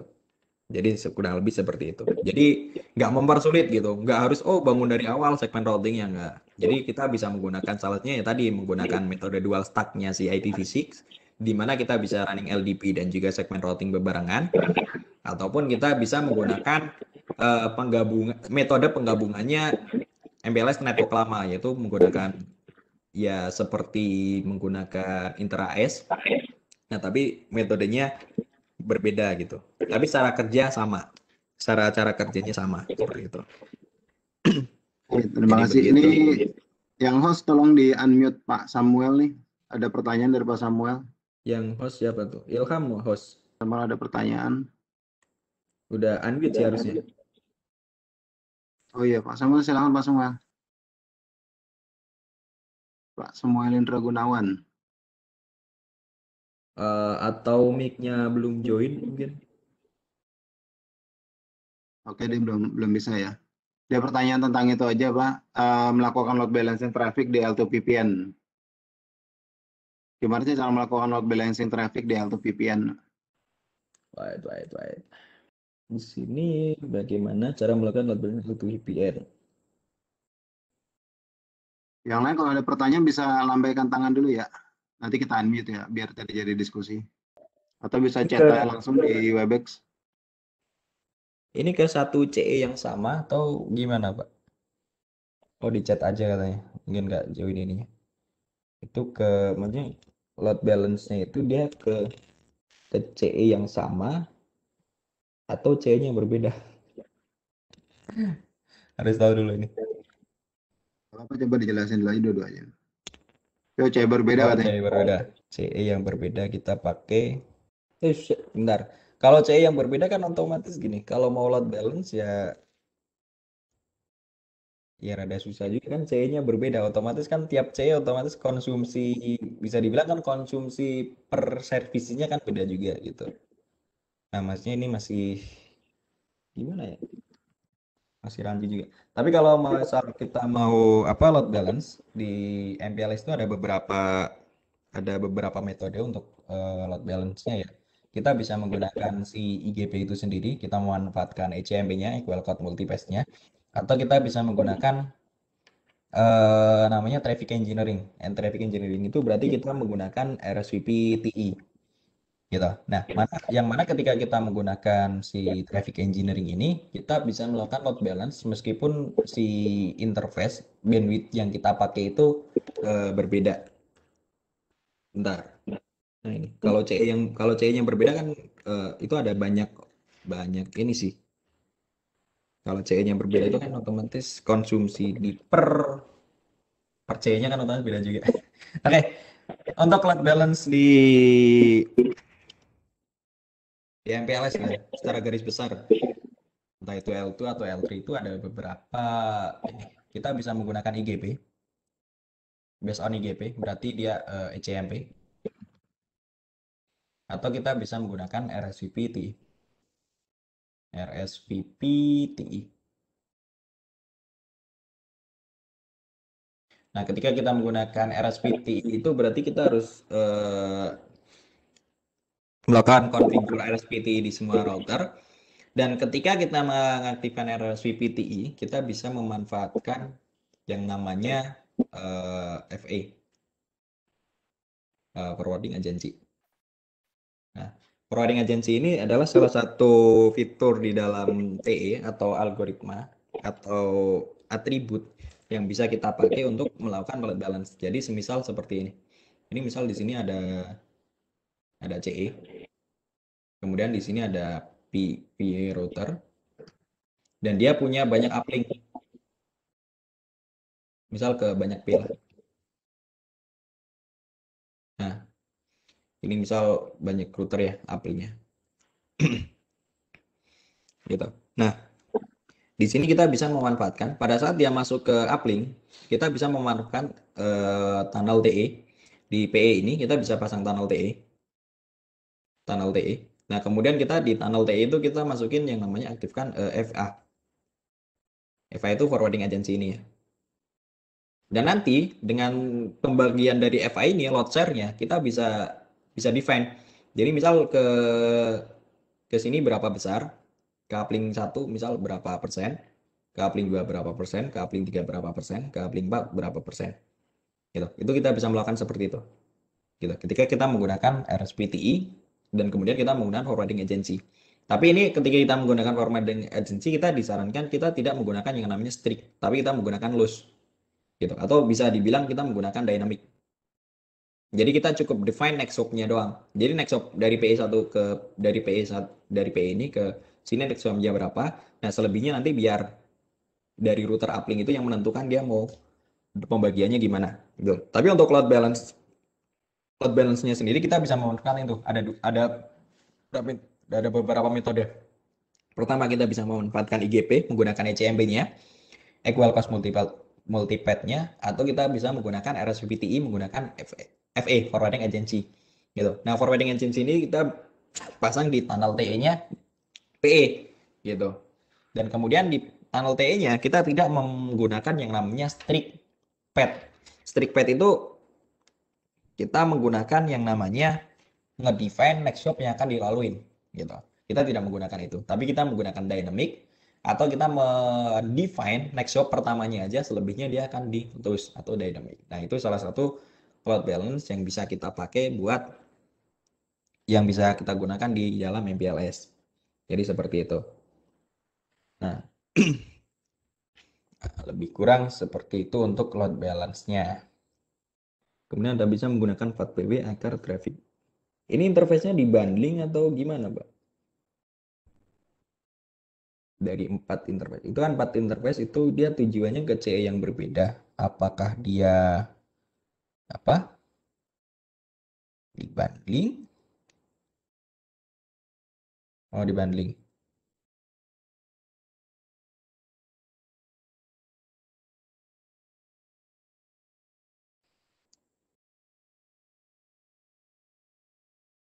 Oh, CE sama terus uh, linknya dibanding ya. Oke. Okay. VLAN berarti Pak atau ada berapa services Pak? Ada ada VLAN doang atau gimana tuh? ini ke ke kliennya pakai ini apa? Uh, turunnya VLAN atau gimana Pak? Karena kalau bundling udah otomatis sih. Dia udah buat apa? Otomatis bikin uh, load balance di interface-nya. Kalaupun pakai 4 PW harusnya nggak gitu ngaruh sih karena dia kan ngelihatnya uh, apa? Ngelihatnya dia apa namanya? ngelihatnya langsung ke petnya jadi dia nggak ngelihat apa yang ada di dalam bundlingnya jadi kalau Fatway juga dia ngelihatnya si langsung si pot channelnya sih nggak bisa langsung interface kalau itu bisa jadi ada isu di mungkin bisa ubah ininya apa metode load share pot channelnya. Gitu. Tapi kalau secara kalau secara L2-nya itu harusnya nggak ada isu karena apa? Dia kan dibanding. Gitu. Jadi otomatis ketika dibanding si L2-nya juga dia hanya ngelihat eh, dari sisi apa namanya? Dari sisi pot channelnya aja gitu. Jadi nggak nggak sampai dia bisa ngedefend interface-nya kecuali interface-nya dia apa satu-satu baru untuk di load balance gitu. Tapi kan karena dia L2 nggak bisa di ECMP juga. Gitu. Tapi kalau itu mungkin bisa dicoba buat e, ngerubah algoritma si load share di dalam si bundlingnya. Gitu. Misal defaultnya kan dia based on apa destination dan IP ya kalau nggak salah. Nah itu mungkin bisa dicoba buat diganti-ganti dulu, diganti dulu ke ke load share dengan mode yang lain gitu. Tapi kalau untuk dari cara L2VPN-nya itu harusnya udah nggak ada isu sih gitu. Karena dia melihatnya dari port channelnya itu sendiri. Gitu. Kalau FATPW juga harusnya dia nanti ngelihat ngelihat lagi dari iOS-nya. iOS-nya masih support atau enggak? gitu. Jadi lebih kurang seperti itu sih mungkin bisa dicek dulu buat uh, load balance dari sisi apa dari sisi customer dan juga dari sisi PE-nya apakah sudah uh, sama atau belum. Jadi begitu. Ini gimana, Pak? Udah coba beberapa algoritma tapi belum ada yang pas. Oke. Okay. Tapi uh, untuk untuk isunya ya bisa dicek di situ sih. Dia ada beberapa kemungkinan sih. Yang pertama algoritma. Oke, ada nyoba algoritma belum ada yang pas. Ya nanti kita coba cek juga. Karena kemarin ada isu juga akhirnya ganti link sih. Oke, okay. karena kemarin ganjil jempolnya. Kemarin saya ada isu juga buat load balance apa balance di router dia nggak nggak balance karena dia ganjil tiga ada tiga link kalau salah tiga link karena nggak balance kita jadinya ganti link metodenya kita ganti bak yang tadinya apa pakai wangi kita langsung ganti buat ke 10 gig gitu. Tapi untuk metode load balance yang karena ini arahnya ke customer jadi lumayan sih. Karena kita harus cek di customer juga. Nah kalau untuk di MPLS nya sendiri kita bisa pakai tadi si IGMP SMP atau iya. RSP TE nya gitu. tapi untuk si L2VPN-nya itu harusnya nggak ada isu karena L2VPN itu dia nanti di situ dia ngelihatnya hanya ngelihatnya hanya bundlingnya gitu. Jadi nanti untuk trafficnya itu nggak apa nggak ngelihat langsung ke interface-nya sih, dia ngelihat bundlingnya. Nah, 4PW nah dia di 633 masih support atau atau enggak kita harus cek di situ soalnya kemarin untuk di salah satu iOS XE terbaru dia belum udah nggak support. Jadi pas kita mau pakai 4PW harus di downgrade. Jadi daripada itu ya udah. Makanya kemarin solusinya harus kita pakai link yang lebih gede aja. Jadi biar satu link seperti itu. Nah untuk case yang ini mungkin nanti kita bisa cek dulu dan kita bisa discuss lebih lanjut mungkin. Karena harus tahu historicalnya juga. Gitu. Gimana atau mungkin yang teman-teman yang lain ada yang pernah mengalami isu seperti yang dialami oleh Pak Samuel juga, di mana dia ada isu L2 VPN-nya dibanding empat interface, empat interface dibanding tapi dia nggak balance gitu trafficnya. Itu ada yang tepat, tapi lumayan juga sih. Tapi secara presentase nggak ada yang nggak ter, terlampau jauh juga uh, secara ininya. Gitu cara paket innya tapi paket outnya itu lumayan lumayan gede. Hampir 50% yang nggak ngebalance gitu. Dia numpuk di dalam satu interface. Oke, mungkin ada teman-teman yang bisa ini bantu. Tapi itu coba bisa dicoba itu. Kalau misal isunya ke arah PE bisa coba pakai TEFA ataupun menggunakan HMP dari si IGP-nya itu sendiri. Nanti kita coba bisa discuss di apa?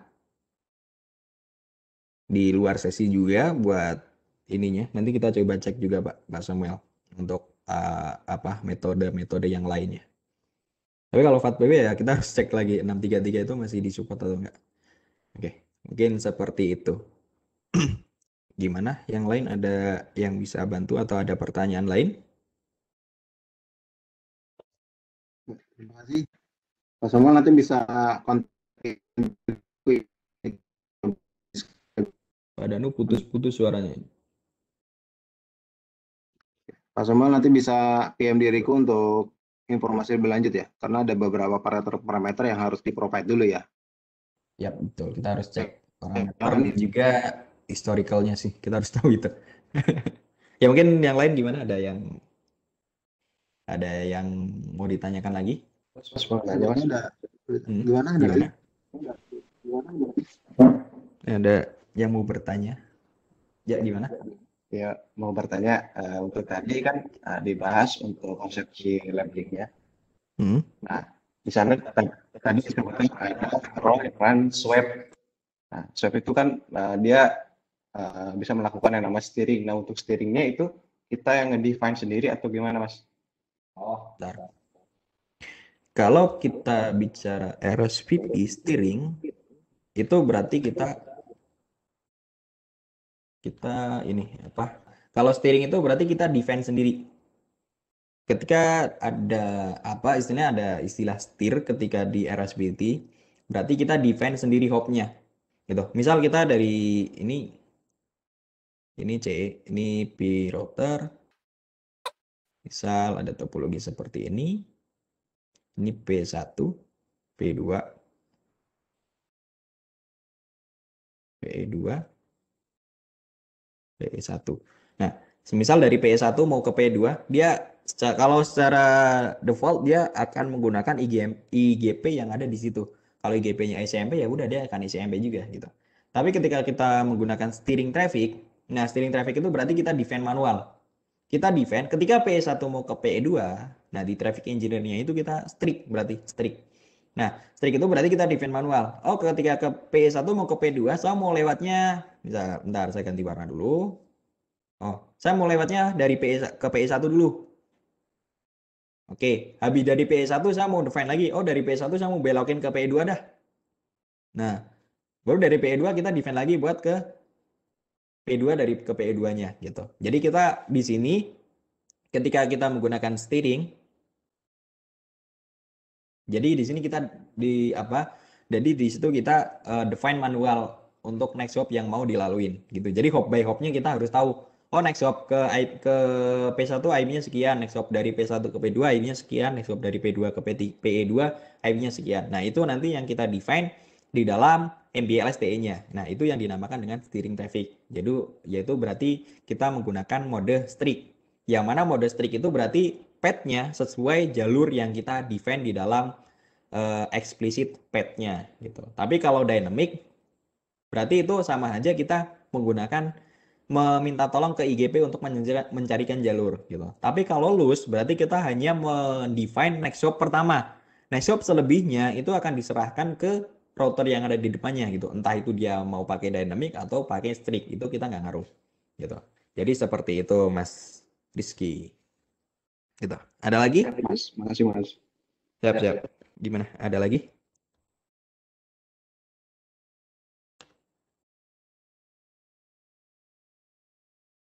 Oke, jika tidak ada lagi, kita akhiri ya. Nanti selebihnya nanti bisa lakukan kontak ke kita.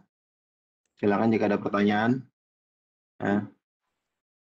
Udah nggak ada lagi. Oke, terima kasih semuanya. Ini materi segmen routing kita sangat menarik ya. Ini materi yang kekinian di era saat ini. Nah, nah kalau ada informasi lanjut atau ada ingin kebutuhan lebih dalam lagi bisa kontak ke kita ya. Uh, udah ditampilkan kontaknya ke kita, silakan. Uh, sebagai penutup, silakan dari tim kita, tim BPN. Monggo langsung ditutup. Yang penutupnya siapa nih? Ada ada agenda seperti biasa. Mungkin bisa yang mau present untuk penutup siapa? Biar saya cek rule-nya. Oke, silakan Mas Ilham. Oke, terima kasih uh, waktunya Pak Danu dan Mas Rifki atas sharingnya ya. Semoga ilmu yang disampaikan bermanfaat ya. Dan selanjut, selanjutnya kita seperti biasa ya, saya akan melakukan uh, izin untuk menyampaikan beberapa informasi ya mengenai best pet network itu seperti apa sih dan apa aja yang kita lakukan ya. apa aja bisa kita bantu terhadap peserta ya. Oke. Best Pet Network ini merupakan IT network atau training dan consulting ya. Nah, beralamat di Jalan Lombok 2. Kami beralamat di Jalan Lombok 2 nomor 154 Perumnas 1 Kota Tangerang, Banten. Nah, Bestpet ini memiliki beberapa layanan atau produk-produk ya. Yang di sini kita melayani network planning and design. Proses yang berkesinambungan meliputi desain topologi sebuah network yang bertujuan untuk memastikan bahwa jaringan komunikasi dapat memenuhi kebutuhan pelanggan dengan cepat dan tepat ya.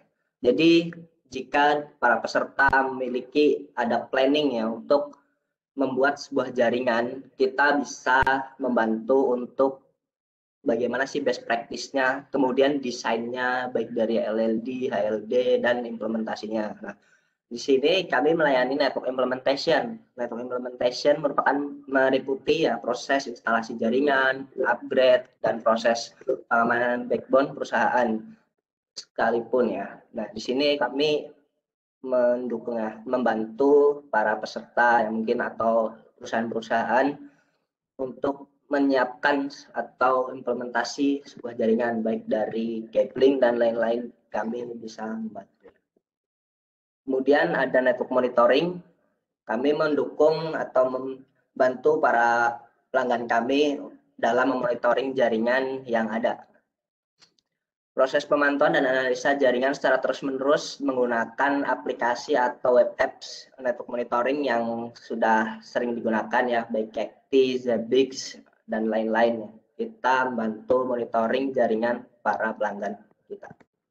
Kemudian ada network maintenance yang kami tawarkan terdiri dari kontrak per masalah atau per call basis. Jadi ketika ada masalah bisa kontak kami untuk dibantu solvingnya ya, ataupun kontrak tahunan yang meliputi pengecekan device jaringan dan troubleshooting PM atau CM ya, preventive maintenance dan corrective maintenance. Kemudian kami juga ada in-house training, perusahaan bisa mengadakan acara training untuk karyawannya. Jadi jika ingin para karyawan eh, upgrade skill atau ingin mendapat update-update informasi mengenai teknologi pada jaringan ini, nah, kita bisa membantu dengan mengadakan training. Nah, kita bisa training online ataupun kita onset ke lokasi atau perusahaan para peserta. Kemudian ada network assessment. Nah, metode assessment ini sangat diperlukan ya agar kita bisa mengetahui secara lebih mendalam mengenai kondisi jaringan pada perusahaan kita ya termasuk di dalamnya mengidentifikasi masalah, resiko, dan cara perbaikinya. Best practice-nya itu bagaimana sih? Kemudian kita juga pastinya melayani IT network konsultan ya. Jika membutuhkan asisten mengenai permasalahan yang ada dalam jaringan Anda, bisa dikonsultasikan ke Best Pet Network. Setiap masalah, insya Allah pasti ada solusinya. Nah, kemudian di sini ada beberapa klien ya yang pernah kami handle itu ada Dana, kemudian Tri ya, kemudian Visionet, Teens, Artajasa, PA, Phoenix, Telkomsel, terus ada Kemenq, Watsons, Bank Misuho, Sindocom, Telenet. Kemudian ada juga BPKP, BKKBN, PLN, BSSN, Badan Cyber dan Sandi Negara, kemudian Elga Networks, ada juga NTT, kemudian Spex, Bank BRI, Auto Networks, ada juga Jago Network Idea. Nah, kemudian ini uh, klien yang akhir-akhir ini atau baru-baru ini kita handle ada Divtek Polri, kemudian Bank BTN, Indosat Peredo, Lintas Arta, Nokia, kemudian BIG atau Badan Informasi Geospasial, kemudian ada juga SIP, Sinergi Informasi Pratama.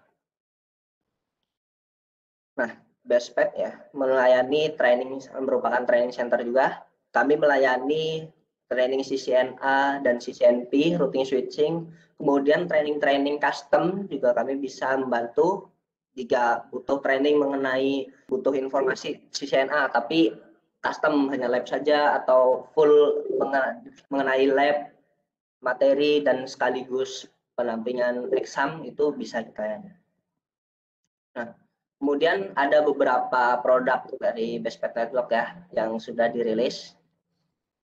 Pertama adalah uh, workbook CCNA ya, best sellernya dibuat oleh Pak Danu Wiyoto ya selaku CEO daripada Bestpack Network. Kemudian ada workbook atau handbook MPLS dasar dan L3 VPN yang juga dibuat oleh Badan Wiyoto. Kemudian ada handbook Zoom Cloud Meeting. Nah, yang dibuat oleh Jeki Hendrian selaku tim dari Bestpad Network. Nah, ketika para peserta ya membutuhkan informasi mengenai bagaimana sih cara uh, cara menggunakan Zoom meeting atau untuk sharing ya ketika digunakan untuk meeting dan lain-lain bisa menggunakan membaca handbook Zoom Cloud Meeting ini. Kemudian ada handbook tutorial registrasi IP PON dengan CCM yang dibuat oleh saudara Itang Asep Sofiandi selaku tim dari Bestpad Network. Di sini menjelaskan bagaimana sih caranya registrasi IP PON ke sistem CCM.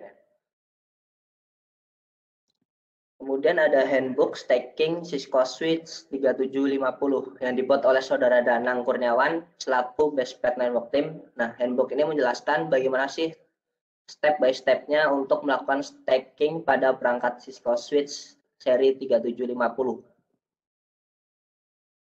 Semua handbook ini bisa di-download ya, kecuali untuk yang workbook ini dijual fisiknya ya.